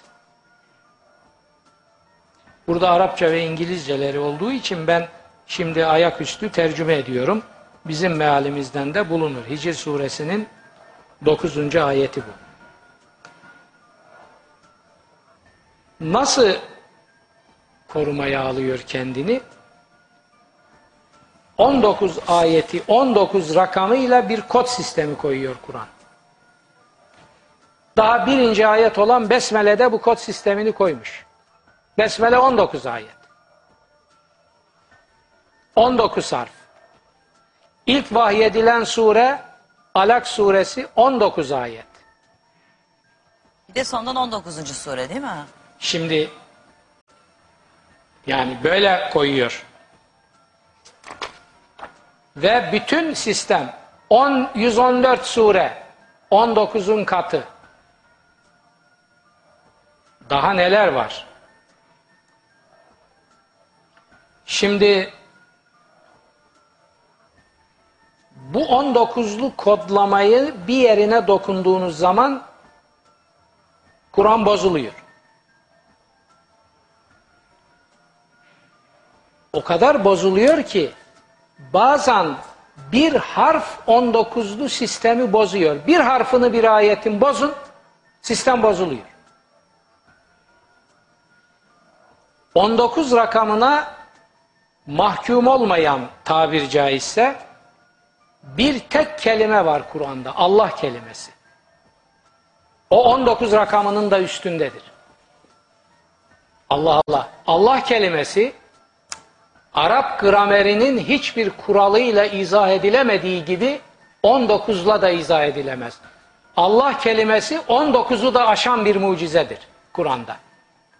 İşte aldanmalar burada oldu. Allah kelimesi üzerinden yürüyerek Kur'an'da iki ayetin Kur'an'a sonradan konduğunu söyleyenler çıktı. Bu talihsizlikti. Şunu göremediler. Allah kelimesi filolojik kurallara uymadığı gibi 19 sistemine de uymaz. Orada da Allah kelimesi sistemin üstündedir.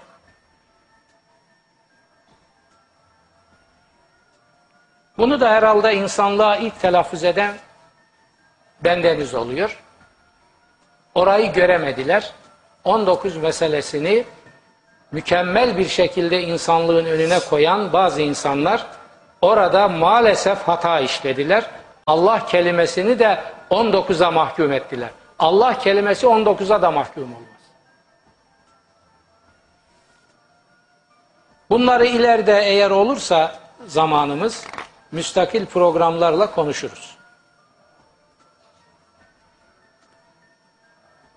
Kur'an iç içe mucizeler, iç içe mucizeler, iç içe mucizelerle dolu bir kitaptır.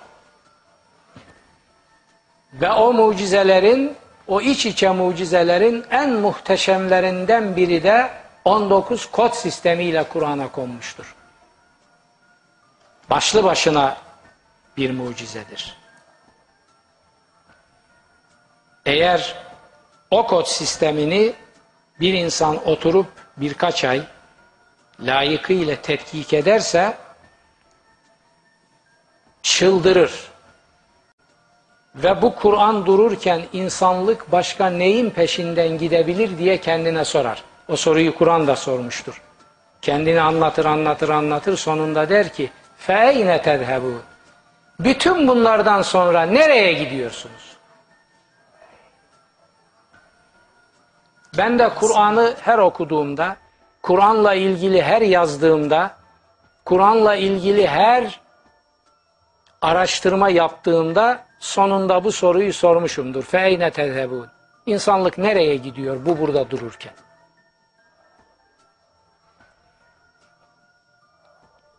Tabi bu soruyu sorma hakkı Kur'an'ı adam gibi okuyanların hakkıdır.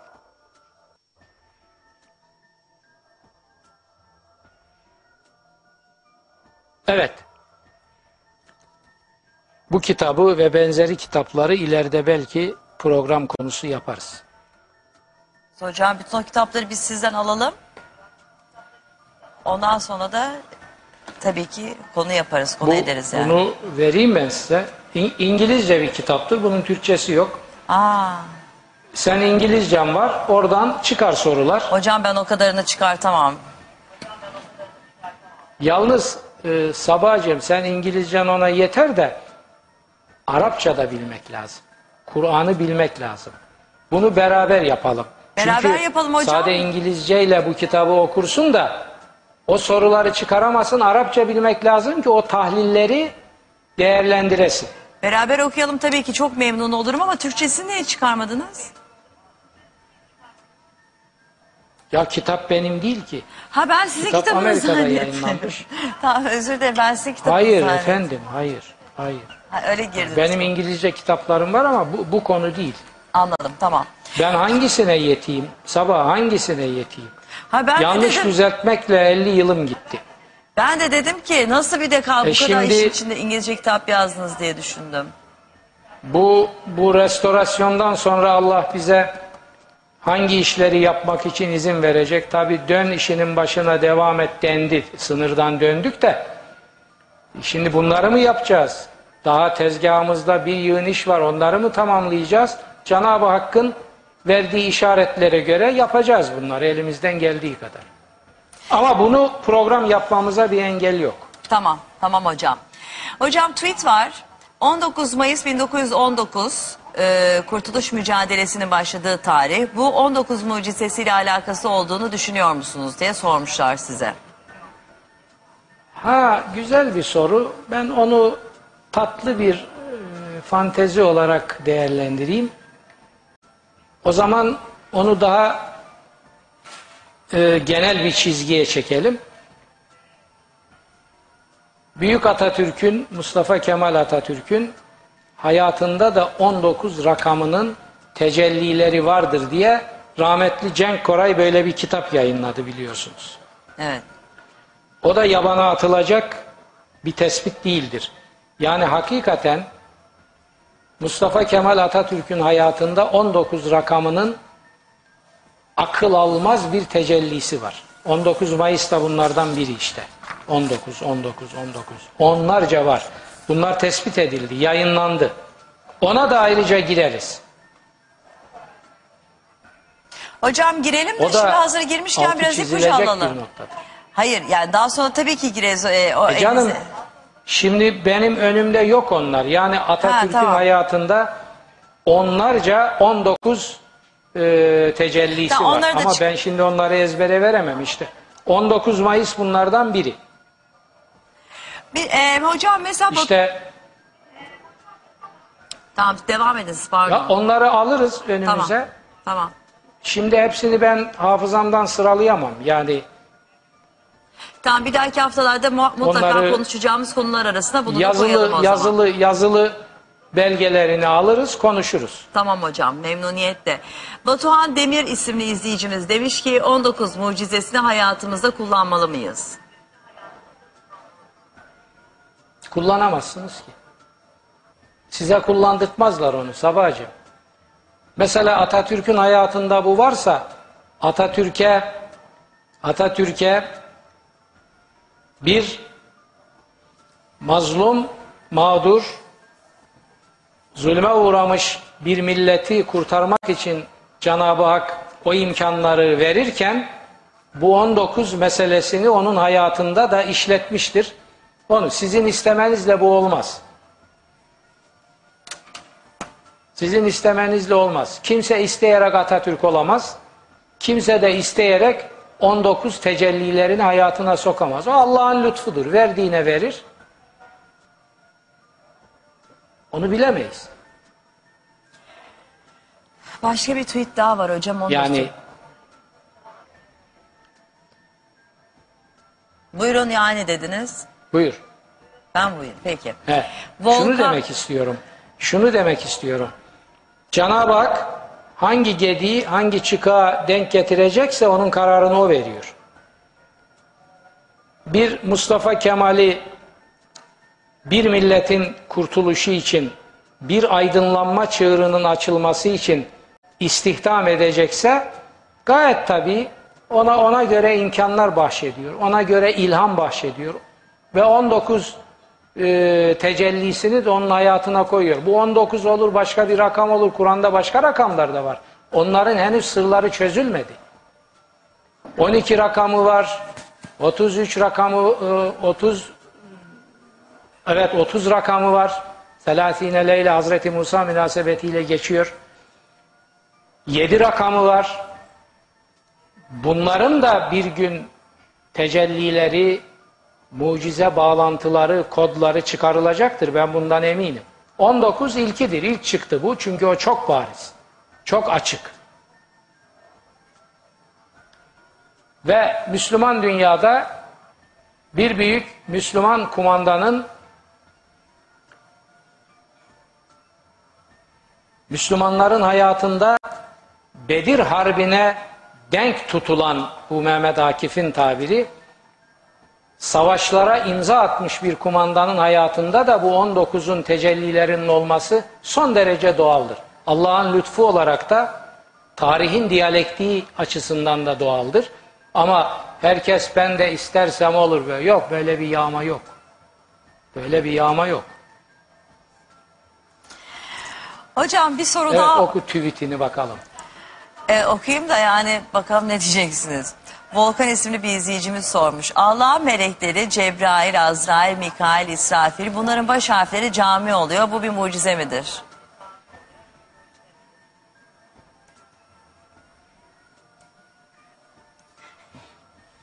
Siz e, yok canım o öyle sıralamalar o- öyle zorlarsanız birçok şey olur. Hani zorlayarak Kur'an'dan neler çıkaranlar var. Kur'an'ın şifreleri bilmem ne şey. O, o da bir sanayiye dönüştü artık. Ayetleri kendine göre Arapçasından bir şey çıkarıyor. Latince'ye Hocam, bence- çevirerek bir şey çıkarıyor. İngilizceye çevirerek bir şey çıkarıyor. Bu, bu böyle bir yağma yok. Hocam bence bizim Özgür sizi Yani kızdırmak- falcılık aracı değil Kur'an. Hocam bence bizim Özgür sizi kızdırmak için mahsusu yolluyor bu tweet'i. O zaten o arkalarda hiç rahat durmaz onu biliyorum. Gerçi gerçekten öyle gibi görünüyor. Sonra fırçayı ben yiyorum hocam. Neyse. Hocam tamamdır. Ee, bu soruyla beraber tweetlere kısa bir ara verelim. bir başka soruları. Ee, Kur'an-ı Kerim neden Arapça indi? Bir de ee, kutsal topraklar neden seçilmiş olabilir? Neden o kutsal topraklar? Toprağın kutsalı falan yok. Kur'an'ın Kur'an'ın kendi kutsal. Kur'an neden Arapça indi? Onun cevabı akılla da verilmiştir. Kur'an da veriyor o. Her peygamber hitap ettiği toplumun diliyle vahiy alır. İbranice hitap ediyorsa, İbranice Hazreti Musa'ya geldiği gibi, efendim Süryanice hitap ediyorsa Süryanice gelir, Arapça hitap ediyorsa Arapça, daha bilmediğimiz birçok dilde vahiy gelmiştir. Hazreti Muhammed Arapça konuşan bir topluma hitap etti. Çekirdek, örnek nesli Araplardı. Onun için onlara Arapça hitap edecekti ve Kur'an'da Arap diliyle ona vahiy edildi. Bundan doğal bir şey olabilir mi?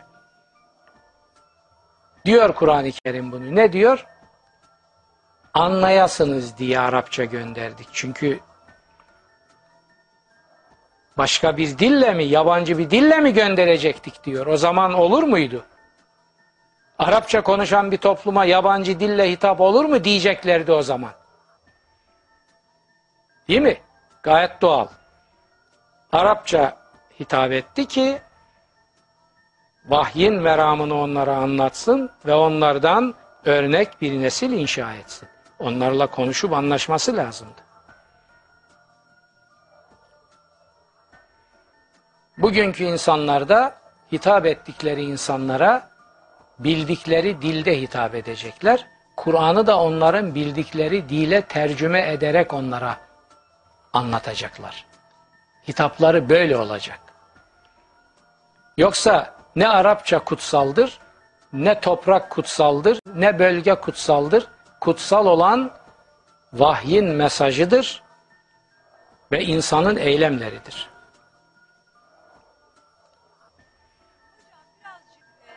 Sabır ve sabretmek konusuna da gireceğiz dedik ya programın başında. Biraz o konuya gir- girmek gerekirse e, sabretmek neden çok önemli?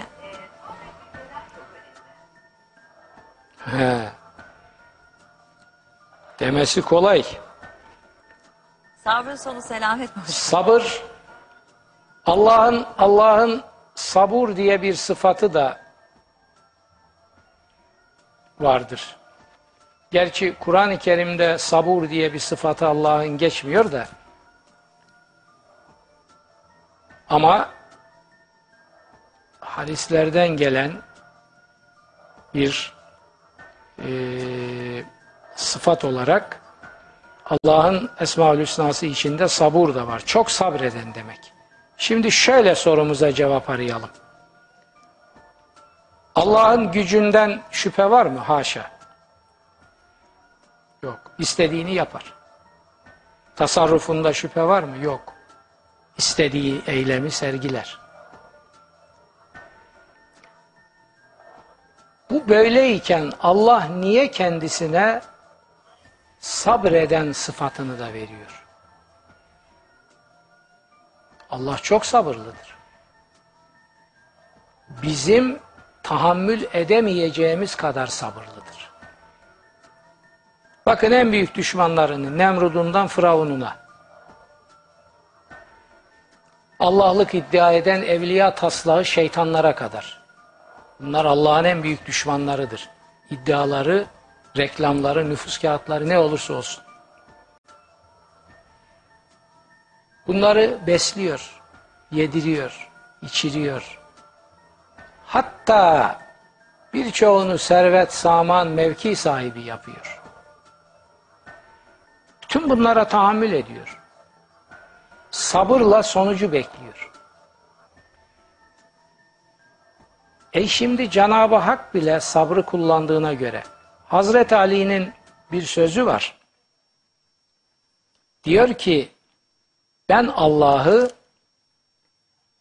isteklerimin yerine gelmemesi yoluyla bildim. Bir şey istiyorsunuz. Allah onu vermiyor. Size onun tersini veriyor. Sonra bir bakıyorsunuz ki sizin istediğiniz doğru değil. Allah'ın verdiği doğru. Hazreti Ali diyor ki ben Cenab-ı Hakk'ı en çok bu yolla bildim. Allah'ın büyüklüğünü.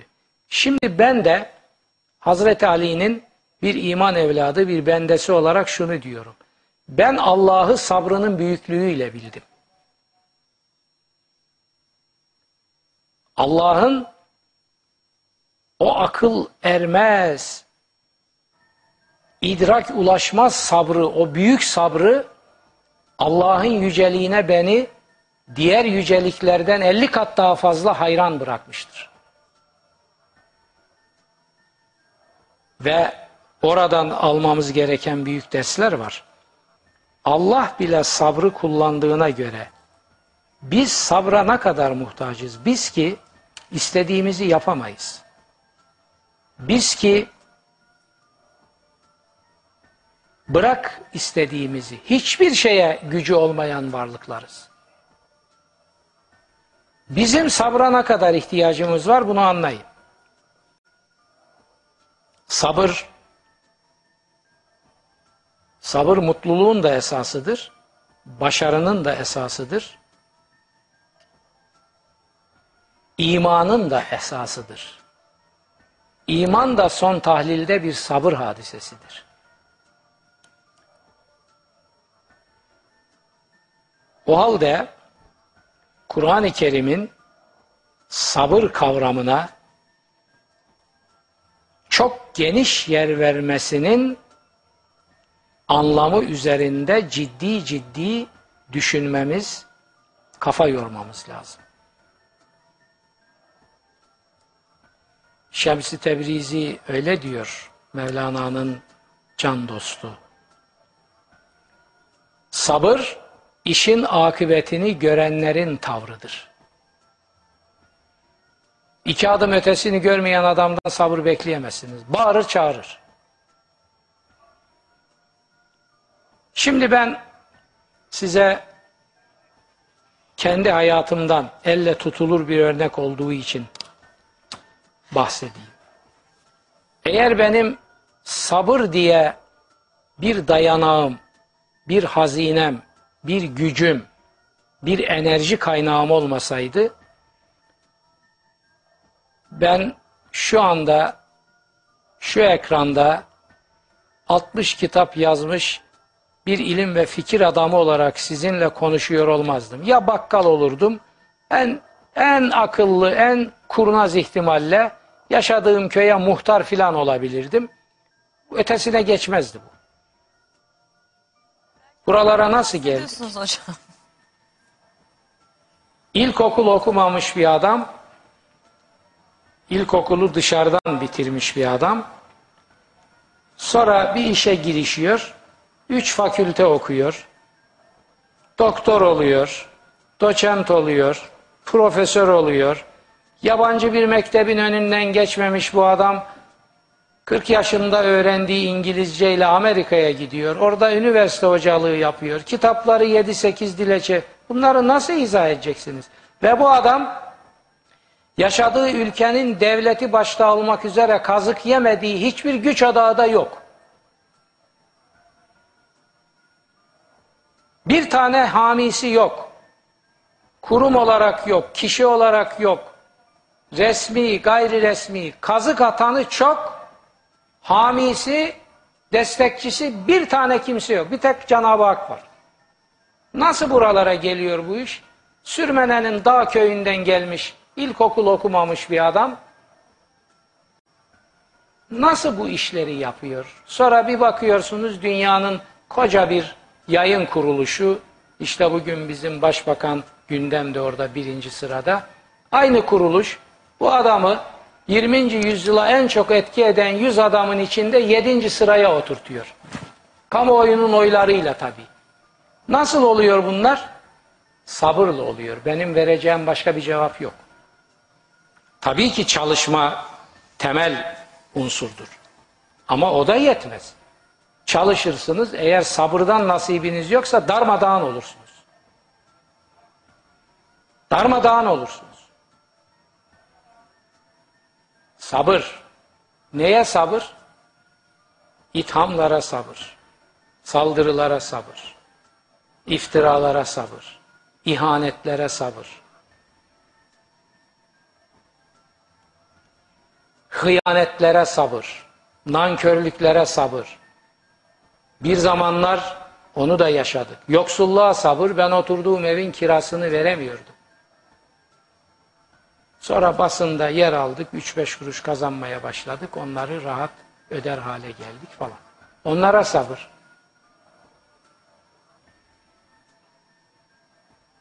Meslektaş hasedine sabır. Siz bunların ne demek olduğunu bilir misiniz? Bunları yaşayanlar bilir. Bilmez miyim hocam? En az sizin kadar biliyorum. Ha, yani bilmeniz lazım. Sen bilirsin doğru. Sabır, sabır, sabır, sabır, sabır, sabır, sabır. İşte sabır bir yer geliyor. Sabır da nihayet insansınız. Bir yerde o da bir çatlak veriyor. Bir bakıyorsunuz ki ameliyat masasına gitmişsiniz.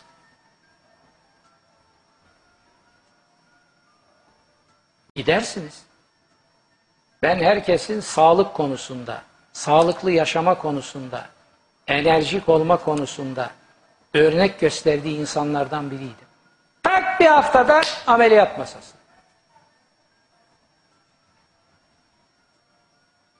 Evet. Ona da sabır. Bakın ona da sabır. Ya nasıl olur ben işte şöyle besleniyordum, şöyle yapıyordum. Bu yaz ben bir buçuk ay denizde yüzdüm, su kayağı yaptım bilmem ne. Allah 50 kişinin bileğini devirdim falan. Şu Yok öyle bir şey ya. Öyle bir şey yok.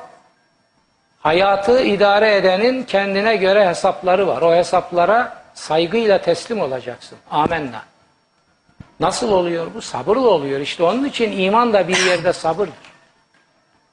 Cenab-ı Hak bütün bunlardan sonra sen ameliyat masasına yatacaksın demişse başım üstüne. Yatarız. Oradan öbür tarafa geçeceksin demişse o da başımız üstüne. Geçeriz. Yok. Buraya yatacaksın. Burada sana verilecekler vardı. Verildi. Şimdi geri dön. işine devam et. O da başımız üstüne. İşte döndük devam ediyoruz. Bak. Sabır. Sabır insanoğluna Allah'ın lütfettiği en büyük nimettir. Bunun hakkını verenlere ne mutlu. Ben hakkını tam diyemem. Tamlık hiç kimsenin hakkı değildir ama büyük ölçüde sabrın hakkını verenlerden biriyim ve bunun ödülünü gördüm. Benim hayatımın başka bir başarı unsuru yok. Benim bu kubbenin altında bir insana bir çay borcum yok. Çünkü hiç kimsenin bir çayı bana lütuf olarak gelmedi. Bırakın desteğini. İhanetler geldi, hıyanetler geldi, darbeler geldi, küfürler geldi, saldırılar geldi, tekmeler geldi. İçten dıştan akıl almaz. Resmi gayri resmi. Yemediğimiz kazık, karşılaşmadığımız hainlik kalmadı. Ama bütün bunların içinden bugün benim adımın ifade ettiği bir fenomen varsa ki insanlık dünyasında bir fenomendir. Ben Batı üniversitelerinde 14 tane doktora tezinin konusu oldum yaşarken. Kaç kişiye nasip olmuştur? Böyle bir fenomen varsa bu Allah'ın sabır denen lütfunu hakkıyla değerlendirmemizin sonucudur. Hocam e, Bas. bir reklam arası verelim. Ondan sonra e, sabırdan devam edelim.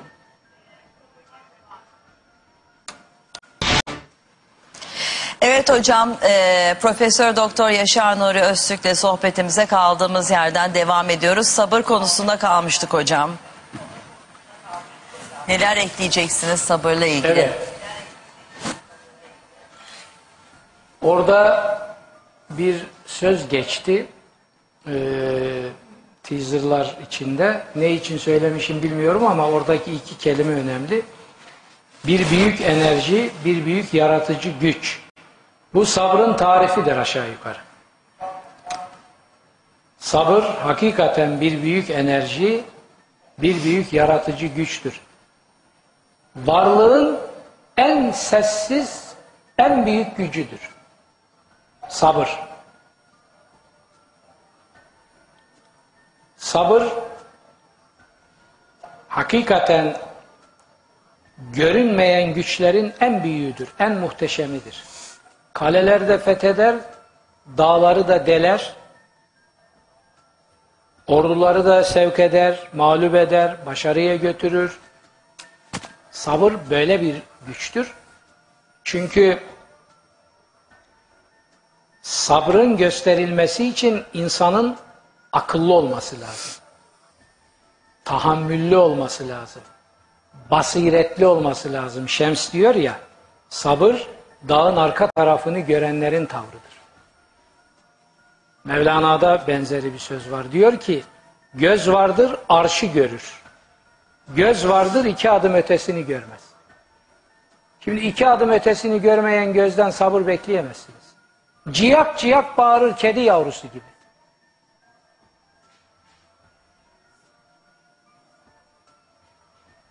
Büyük yaratıcı ruhlar büyük okyanuslar gibidir. Yer küreye buhar verirler, su verirler, hayat verirler, iklimleri dengelerler. Neler neler verirler, rızık verirler içlerinde besledikleri canlılarla.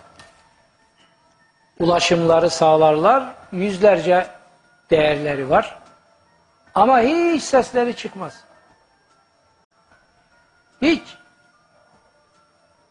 Büyük yaratıcı ruhlar da bu okyanuslara benzer. Tarih onlara hangi görevi yüklemişse onu tahammülle, sabırla, ıstırapla, kahırla neyse yerine getirirler. Eserlerini tamamlarlar. Eserleri neyse her birinin değişik bir eser türleri. Ve bu alemden geldikleri yere döner giderler. Hocam bir tweet var diyor ki sabır bir nevi ibadet diyebilir miyiz? Hastalığa çocuğunun olmamasına sabır ve daha çok bir daha birçok güçlüğe. En büyük ibadet. En büyük ibadet. Ondan büyük ibadet yok. Şimdi diyor ki Kur'an-ı Kerim, güzel bir soru sormuş kimse. Sayıyor, sayıyor, sayıyor.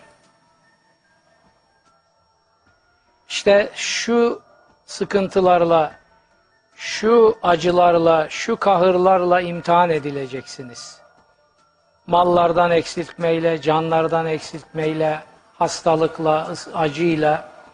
Sonunda dediği şudur. Ve beşşiriz sabirin. Sabredenleri müjdele.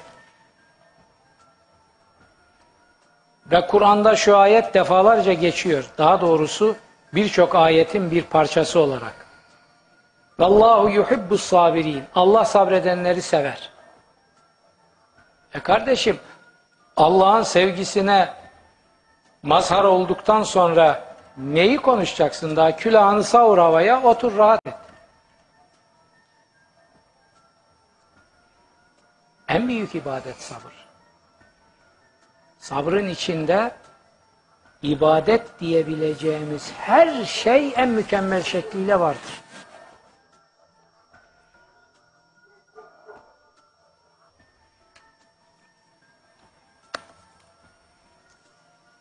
O halde sabırlı olmak insan olmakla eş anlamlıdır demek hiçbir mübalağa taşımaz. Siz hayvanda sabır görebilir misiniz? Hiç böyle bir nasibi var mı hayvan? Sabır insanda. İnsanda feraset, gönül gözü, akıl, ihata, idrak yükseldikçe sabretme kabiliyeti, çapı, kapasitesi de yükseliyor.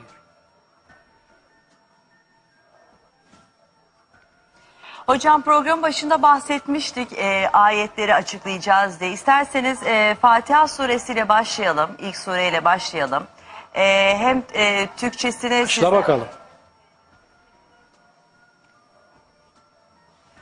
Şu Cenab-ı Hakk'ın işine bak. Ekranlarda Kur'an-ı Kerim'i sırayla açıklamalı biçimde milletimize, halka vermekte Sabah Tümer görev alıyor. Lütuf Allah'ın kime isterse ona veriyor. Evet, Fatiha suresi. Önce bir okuyalım İniş hocam. sırasıyla 5. sure. İniş sırasıyla 5. sure. Fakat Peygamberimiz bu sureyi Kur'an'ın anahtarı ve özeti diye nitelendirdiği için bakın bizim elimizdeki musaf tertibinde bu sure birinci sıraya konmuştur.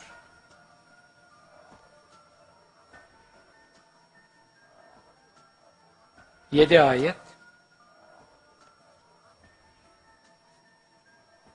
Evet. Evet hocam okuyun bekliyoruz. Hem yani hem okuyun hem de ondan sonra Oku, açıklamasını sen, dinleyin. sen oku, sen oku. Sen oku, sana okutacağım. Hocam okurum da yani sizin Oku okumanız bakayım. daha güzel olur sanki hocam.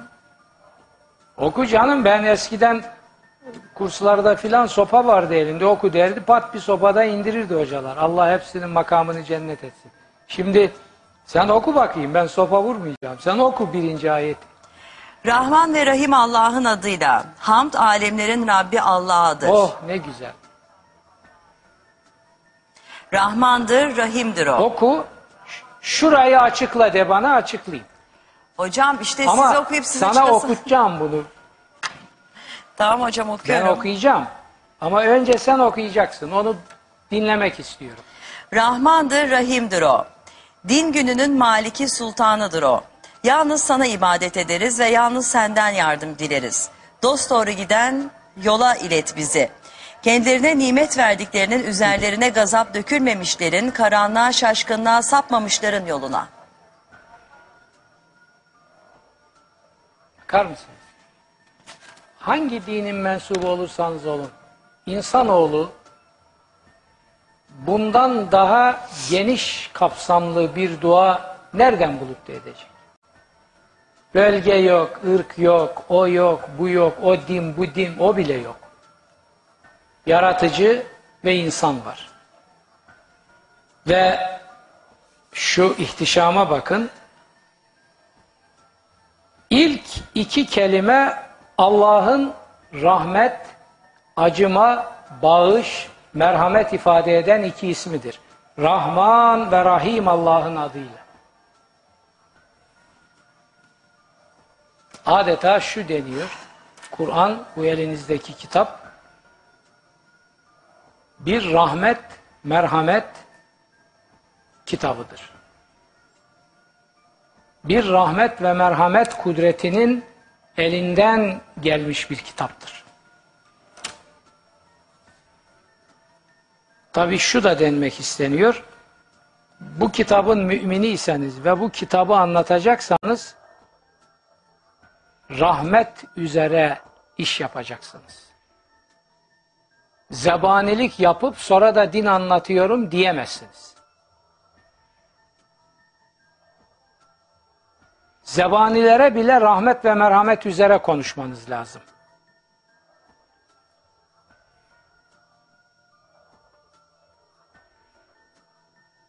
Övgü kime? Alemlerin Rabbi olan Allah'a.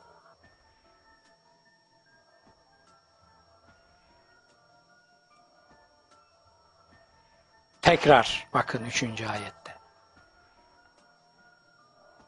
Rahmandır, Rahim'dir o. İlk ayet Besmele'de Rahman ve Rahim'i verdi. Üçüncü ayette bir daha tekrar ediyor. Vurgu yapıyor. Tekit yapıyor. Rahmet kavramına vurgu yapıyor. Kısa kısa aralıklarla daha Kur'an'ın başında rahmete vurgu yapıyor. Aman ha diyor. Bu rahmet ilkesini bu rahmet mesajını bütün zerrelerinde hissederek bu kitabı oku ve anlat.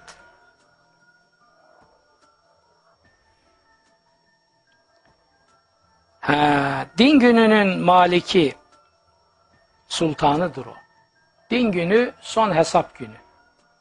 İnsanoğlunun kendine verilen hayat nimetinin hakkını verip vermediğinin hesabının yapıldığı gün. Bu hesabı kim yapacak? Cenab-ı Hak. Hiç kimse bu hesabı yapmaya kalkmasın. Dini anlatırsın ama din gününün maliki gibi hesap sormaya kalkamazsın. İleride göreceğiz. Kıyamet suresinde ileride hesap bizim işimizdir diyor. Sen anlat, kenara çekil. Hesap sormayı bırak. Din adına saltanat kuran zebaniler hesabı sormayı geçtik. Azabı da kendileri yapmaya kalkıyor. Hocam burada çok kısa bir ara verelim. Bunların neresi? Ee, sona kaldığımız yerden devam edeceğiz.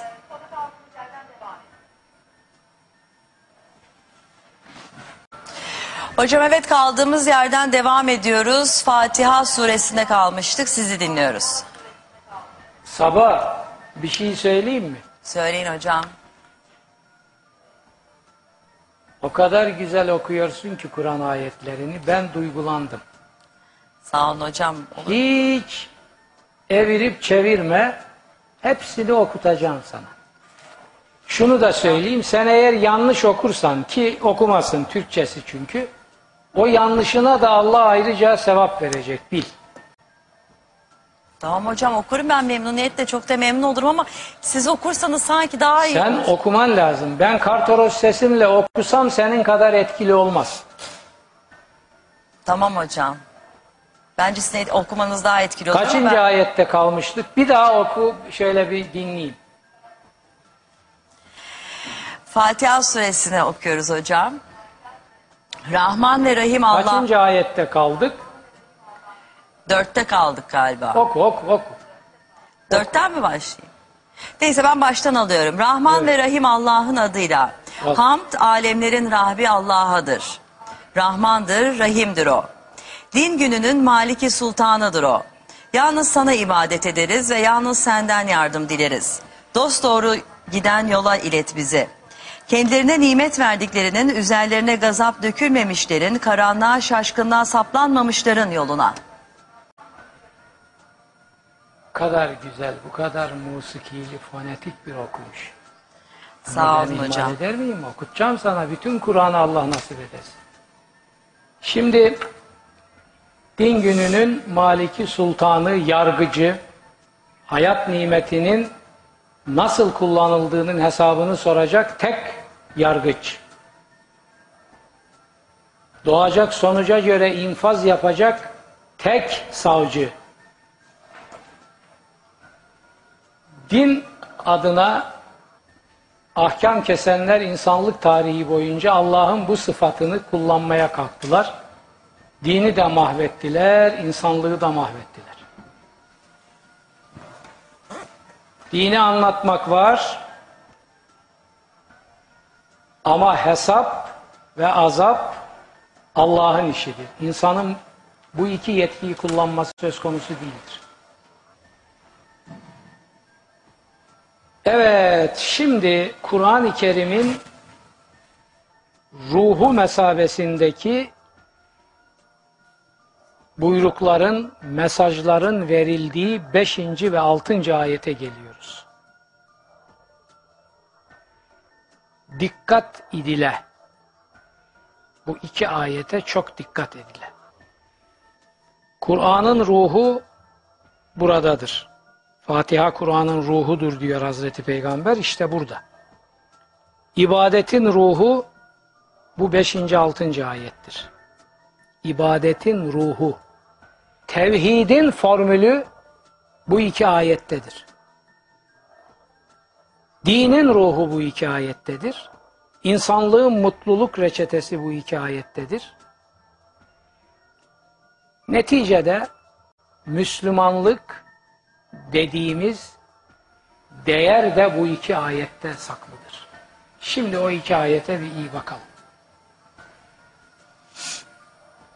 Orijinal şekliyle İyyâke na'budu ve İyyâke nesta'in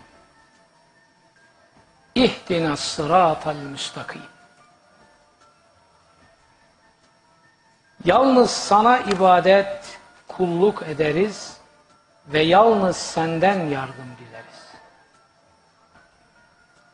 Dikkat edin. Sana ibadet ederiz, senden yardım dileriz denmiyor. Düz cümle böyle olması gerekirdi.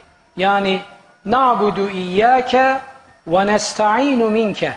Arapça düz cümle böyle. İngilizceden de biliriz cümlede inversiyon yapılmıştır.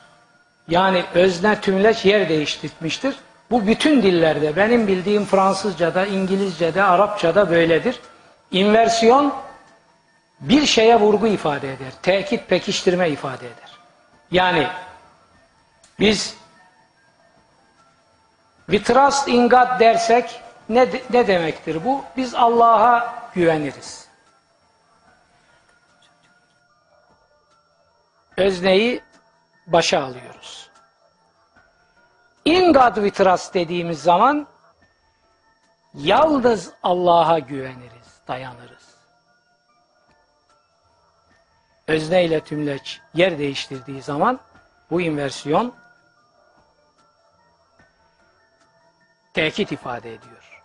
Özelleştiriyor, pekiştiriyor ifadeyi. Burada da nabudu iyyake dememiş, sana ibadet ederiz dememiş. İyyâke na'budu. Yalnız sana ibadet ederiz. Sadece sana ibadet ederiz. Bu sadece, sadeceler sistemi diyorum ben buna tevhidde. Ve bunu Maun Suresi adlı kitabımda anlatıyorum bu sadeceler, bu sadece sistemi ne demek? Şu demek, Allah'a ibadet etmek yetmez. İbadet yalnız Allah'a edilecektir. Allah'tan yardım dilemek yetmez. Yardım yalnız Allah'tan dilenecektir. İki şey var. İnsan çalışacak, yardımı Allah'tan dileyecek. Çalışacağım, efendilerimden yardım dileyeceğim. Onlar benim sırtımdan parsa çıkaracaklar. Efendilerinin canı cehenneme. Sen varsın bir de Cenab-ı Hak var kardeşim. Hayvan mısın sen? Seni Allah insan yaratıyor. Sen birilerinin eline kırbaç verip birilerinin sırtına semer koymasına göz yumuyorsun ve sırtına biniyorlar. Ne efendisi ya? Ne efendisi? Efendilik varsa her birimiz efendiyiz. Yoksa her birimiz insanız, işimizi yapacağız. Şimdi burada bir şey söyleyeyim. Bak Allah Sabah Ümer'i nelere vesile kılıyor. Estağfurullah hocam öyle şeyler söylemiyorum tanırım ben. Şunu sana ne ya? Söylüyorum ben. Sen sen istemiyorsun. Ben söylüyorum. Tamam. Hakkın. Çok iyi dinle burayı sabah. Bütün Show ailesi ve Show TV'yi izleyen herkes. Herkes. Cenab-ı Peygamber aleyhissalatu vesselama bizim peygamberimize efendim, efendim, efendim diye seyyiduna, seyyiduna diye hitap ediyorlar böyle sık sık. Bir ara. Bir, iki, üç, beş birden duruyor ve diyor ki tamam yeter. Bana efendim diye hitap etmeyin. Efendi yalnız Allah'tır diyor. Başka kimsenin efendilik hak ve yetkisi yok. Siz neyi konuşuyorsunuz? Siz bunları yok ettikten sonra ne girip oralara duvarların arasına yatıp kalkıyorsunuz? Bundan nasibiniz yoksa o namazların size Kur'an tarafından lanet tokadı gibi geri döndürüleceğini hala öğrenemediniz mi? Her birinin 40 tane efendisi var. Siyasetten spora kadar, sinemadan bilmem neye kadar. Ondan sonra orada gidip 3-5 defa yatıp kalkmakla defteri kapatacağını zannediyor. Yazık. Feveylül lil musallin diyen Kur'an'dır. Ben değilim.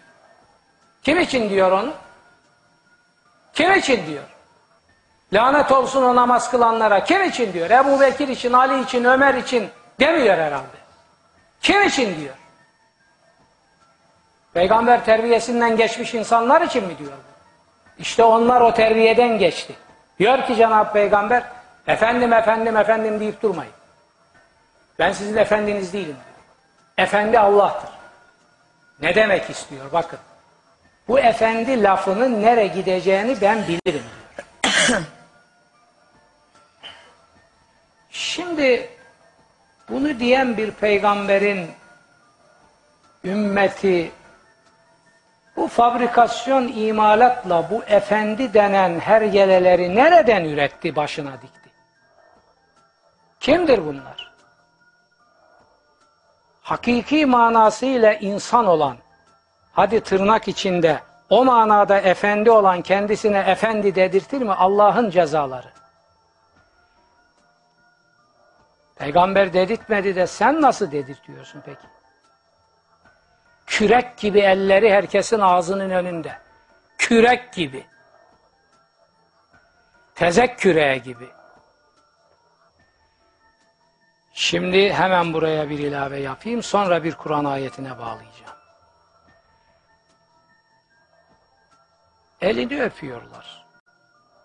Yahu şu kubbenin altında Hazreti Muhammed'in elinden daha öpülesi bir el tasavvur edilebilir mi? Bunu herkes biliyor. O peygamberi ekber de biliyor. O Resul-i Ekrem de biliyor. Tamam ama orada bir ders var onu vermek istiyor insanlar. Benim elimi haberi öpmeyin diyor. Engelliyor. Bunu diyor Acem Bizans krallarına yaptılar ve sonunda onları ilahlaştırdılar. Allahu Ekber tekbiran ve hamden kesira. Kim diyor bunu? Kur'an'ın mahbedi olan Muhammed Aleyhisselam diyor. Ey ahali kendine gel. Kendine gel. Allah'tan cezanı mı istiyorsun? Kendine gel ya. İzleyicilerimizden birkaç tane Bir soru gün geldi. konuşma sırasında dur, dur, dur. Ben şimdi beşinci vitese koymuşum. Bu bitecek. Frene bastığım zaman sorularını sor. Siz bana fren deyin ben anlarım hocam. Bir gün konuşma sırasında sahabilerden biri diyor ki konuşma böyle akıp giderken Hazreti Peygamberle olur diyor. Tabi inşaallah ve inşi'te sen ve Allah isterse bu iş olur. Kaynağın ifadesine göre hayatının en celallendiği zamanlarından biriyle öfkeleniyor. Diyor ki Allah ve sen istersen olur ne demek diyor kardeşim. Beni oraya katma sadece inşallah de. Beni oraya katma beni şirk aleti yapma diyor. Şimdi adam ne diyor? Al diyor şu tesbihi, al şu resmi, koy cebine, sonra bir tenhada git, Efendi Hazretlerini bak diyor, gözünün önüne getir, ona sığın diyor, rabıta et. Şu kelimeyi şu kadar çek, isteklerini sırala. Ya altına Ebu Cehil imzası atsan kimse yadırgamaz. Ebu Leheb imzası atsan kimse yadırgamaz. Müseylemetül Kezzap imzası atsan kimse yadırgamaz. Yahu sen müşrik misin, mümin misin? Bu nasıl iştir?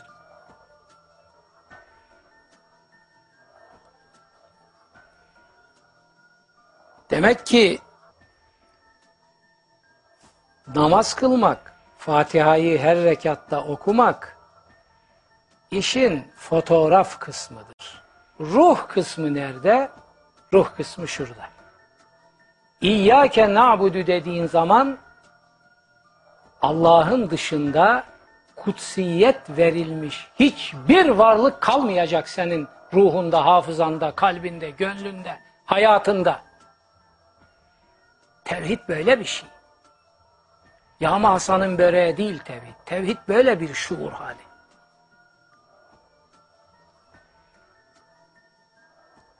Ha ben Allah'a da ibadet ederim. Adam namazı kılıyor orada. Sakalı da zaten uzatmış yahut her neyse bir de sarık da sarmış da zaten bitti. Arap'ın sarığı Allah'ın alameti olmuş. Ondan sonra çıkıyor yan tarafa geçiyor. Orada da bilmem kimlerin türbesi var. Bir 15 dakikada da orada nevi şahsına münasır bir ibadet de orada sergiliyor. Sorsan ziyaret ettim. Ulan senin senin İslam'ın mabedinin avlusuna filancanın cenasını defnetmeye ne hakkın var? Sana bu yetkiyi kim ve ne işi var adamın orada? Ne işi var adamın orada? Bura mabet mi mezarlık mı? Mabetle mezarlığı yan yana getirdin mi bunun adına Müslümanlık denmez. Şintoizm denir. Anadolu'da birçok bir birçok mabet Müslüman mabedi olmaktan çıkmış. Şintoist mabedine dönmüş. Buralarda kılınan namazlar şu Fatiha'nın tanıttığı namaz falan değildir.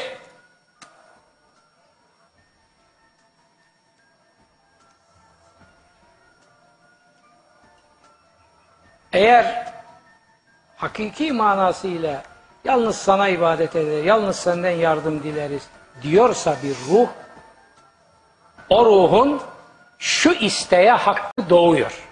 Bakın 6. ayet hemen onu vermiş arkadan. İhdine sıratal müstakim. Dost doğru Dost giden- doğru giden yola ilet bizi. Sen yalnız sana ibadet eder, yalnız senden yardım dileriz de demin bahsettiğim aksaklıklara vücut verirsen, bizi dost doğru yola ilet dediğinde canın cehenneme nidası gelir. Sen bana layıkıyla ibadet ettin mi ki ben seni dost doğru yola ileteyim? Sen Şintoizm üzere ibadet edip sonra tevhidin duasıyla benden talepte bulunacaksın. Alırsın bekle. Bak bin senedir alamıyorum. Yat kalk. 50 metreye bir cami yap. Yat kalk. Hazreti Peygamber onun da cevabını vermiş. Ümmetimin helake gideceği zamanda cami sayısı artar ve camilerin yapımı görkemli hale getirilir. Sadaka men natak. Allah'ın salatı ve selamı onun üzerine olsun. Daha nasıl söyleyecekti? Nasıl söyleyecekti daha? Bu söylediklerini çiğneyenler çeneye bir tutam kıl, kafaya da bir Arap sarığı geçirerek nereye gideceklerini zannediyorlar. Allah'ın zavallıları, Allah size hidayet versin.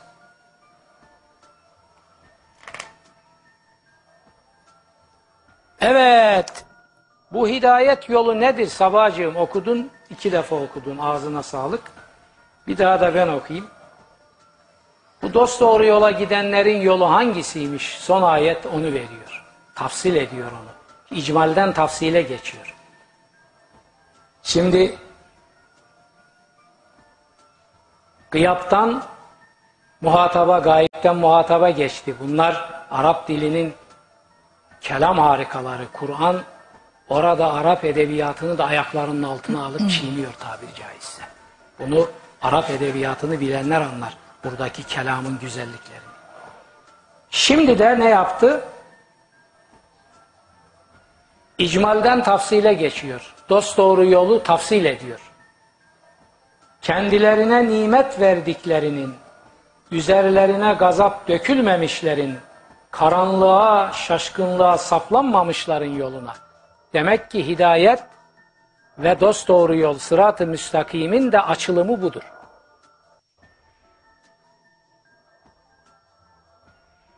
Evet Bakara suresine geldik.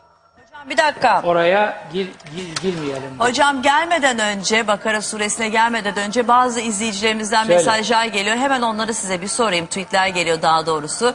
Fatiha suresi Söyle. hayatımızı nasıl Söyle. etkiler ve Fatiha suresini hayatımızda nerelerde kullanmalıyız? Fatiha ibadetin ruhudur. Hazreti Peygamber Fatiha'nın namazda okunmasını ısrarla önermiştir. Hem çok kısa, formüler bir e, kelamdır. Hem Kur'an'ın tevhidin ruhudur anlattık. Hem de en mükemmel, en hayati yakarıştır. Cenab-ı Hak'tan istenecek en mükemmel şeyleri burada toplamıştır. O bakımdan Fatiha'yı namazlarında şuurla okuyan, ne dediğini anlayarak okuyan, bunun için de kendi bildiği dilde okuyan, bundan nasiplenir. Şimdi bizim insanlarımıza iki büyük zulüm yapıldı. Bir ibadetin az önce anlattığım ruhu anlatılmadı. Yat kalk sayı tamamla. Tavuk kaç tane mısır yemişse kursağı o kadar şişer. Bu öyle bir şey değil. Birinci zulüm bu. İkinci zulüm anlamadığınız dilde okuyun sevap alırsınız. Ya şunları anlamadan okuyan adam ne sevabı alacak? Kur'an diyor ki anlamadan namaz kılanlara lanet olsun. Sarhoşken namaza yaklaşmayın ne dediğinizi anlayacak hale gelinceye kadar. Demek ki ne dediğini anlamak namazda esastır. Bu da Kur'an ayeti. Bunları yuttunuz mu siz birader? İmam-ı Azam buradan hareketle bundan 1370 sene önce Müslümanların Arapça dilinde tek dil, yabancı dil tanıdıkları, Farsçayı tanıdıkları zamanda Kur'an'ın herhangi bir dile tercümesiyle de namaz kılınır diye fetva verdi. Bunu fıkıh adına ilkeleştirdi. Bin yıldır o ilke fetva fıkıh kitaplarında var. 2000'li yılların Türkiye'sinde bazı vicdansız, ahlaksız, irfansız, idraksız adamlar bunlar yokmuş gibi isteyen Kur'an'ın tercümesi Türkçesiyle de namaz kılar dediğimiz için bizi yerden yere çaldılar. Diyaneti buna alet ettiler uzun bir zaman. 2000 2001'e 2'ye kadar. Ve hala geçenlerde gene bir tanesi hiç üstüne vazife olmadığı halde ilahiyatın isimden haberi olmadığı halde bu 28 Şubat dayatmasıdır diye namussuzca lakırdılar etti ekrandan milletin önünde. Ve bu adamın isminin başında profesör var.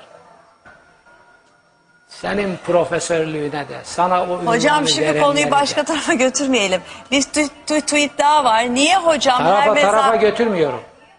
Fatiha'dan Fatiha'dan yararlanmanın yollarını sorduğunu söylüyorum. Tamam. Bir defa ne dediğini anlayarak Fatiha'yı okuyacaksın. Namazda. Adam adamı öğretmişler. Sen Arapça oku sevap alırsın. Hiçbir şey alamazsın. Hava alırsın. Adam okuyor. Elhamdülillahi, elhamdülillahi Rabbil alemin, Errahmanirrahim, Mualikiye. Akıl almaz. Hangi dilden olduğunu anlamak için müneccim olmak lazım. Bu kadar rezil yanlışlarla okuyor bunu, bu oluyor. Sen Arapça oku, Arapçılık yap, her şey mübah.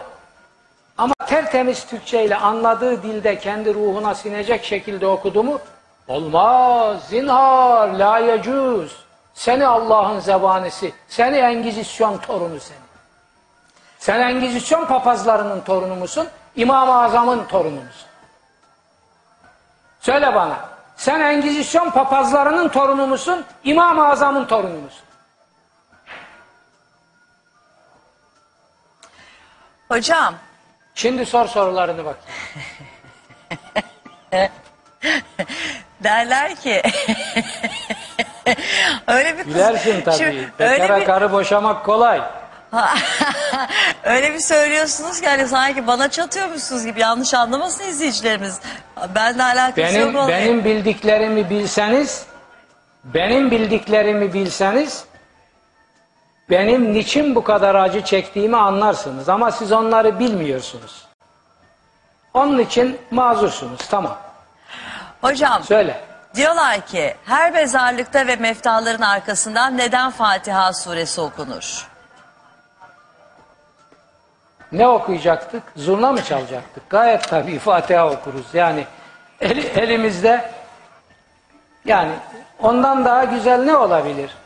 Yani o Fatihalar onlara bir şey vermez. Onu kimse yanlış hesaplamasın. Ama bize düşen o. Yani bundan daha güzel ne olabilir? Kutsal metinden bir parçayı okuyoruz. Klarnet mi çalacaktık? ne yapacaktık yani? Darbuka mı çalacaktık? Gayet tabii. Hocam diyorlar, diyor ki izleyicimiz e, namazı ne sesi eşliğinde kılıyorum bana büyük huzur veriyor ve yoğunlaşıyorum ama caiz midir emin değilim demiş. Nasıl yani? Namazın Hocam şimdi şey ben- erkanına uyuyor mu? Fatiha'yı okuyor mu?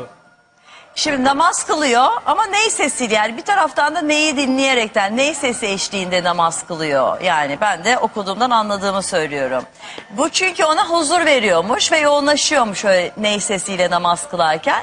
Acaba caiz midir diyor. Yani namazda okunması gerekenleri okuyor, Evet. erkanına uyuyor. Diyelim o arada ki da öyle, ney evet. sesi var Evet. onda.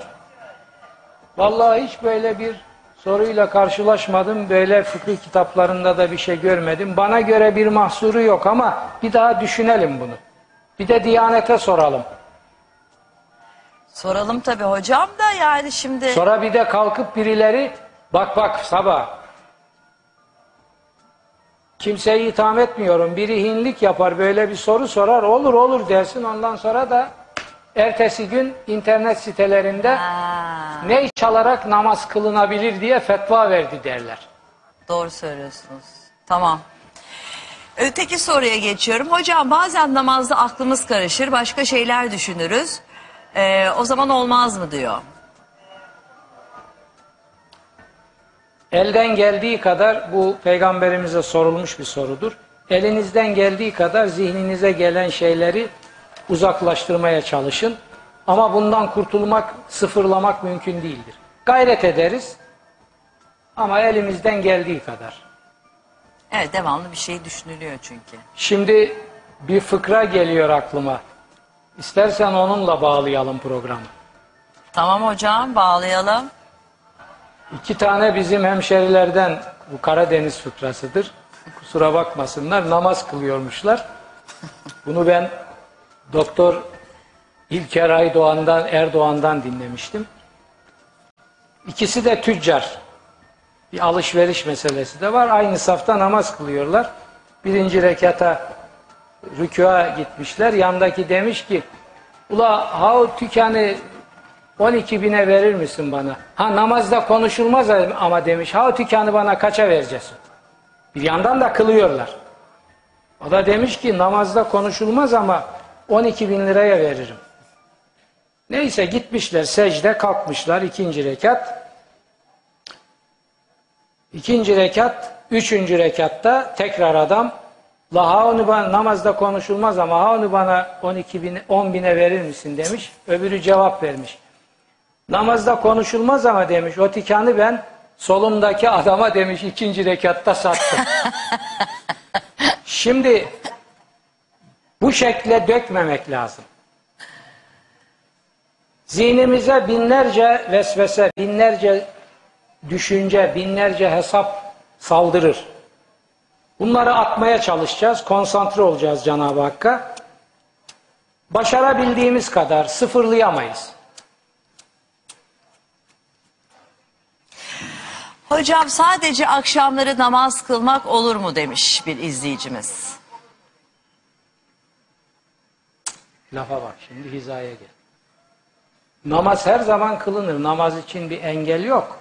Ama bir de bizden istenen Herhalde çalışıyor. göre Herhalde çalışıyor namaz. hocam. Gün içinde kılamıyor. Bir tek akşam kılsa. Tamam çalışıyorsa işinin çalışıyorsa işinin el verdiği kadar kılacak.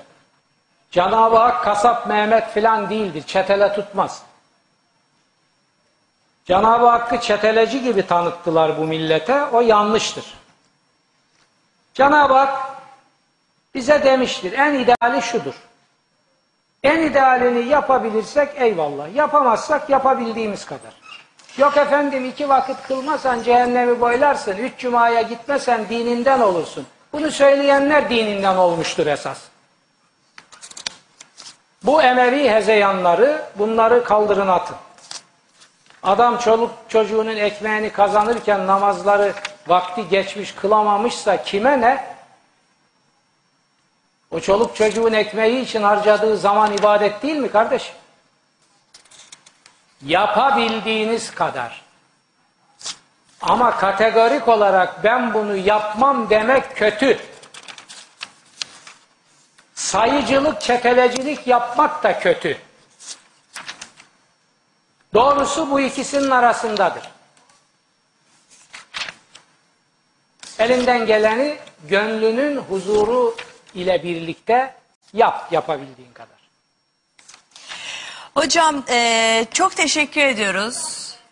Bakara suresini artık önümüzdeki hafta Allah nasip ederse geçeceğiz. Önümüzdeki hafta Cuma günü geçeceğiz. İnşallah. Onu da güzel bir şekilde eee, izleyicilerimize sizin anlatmanızı rica edeceğim.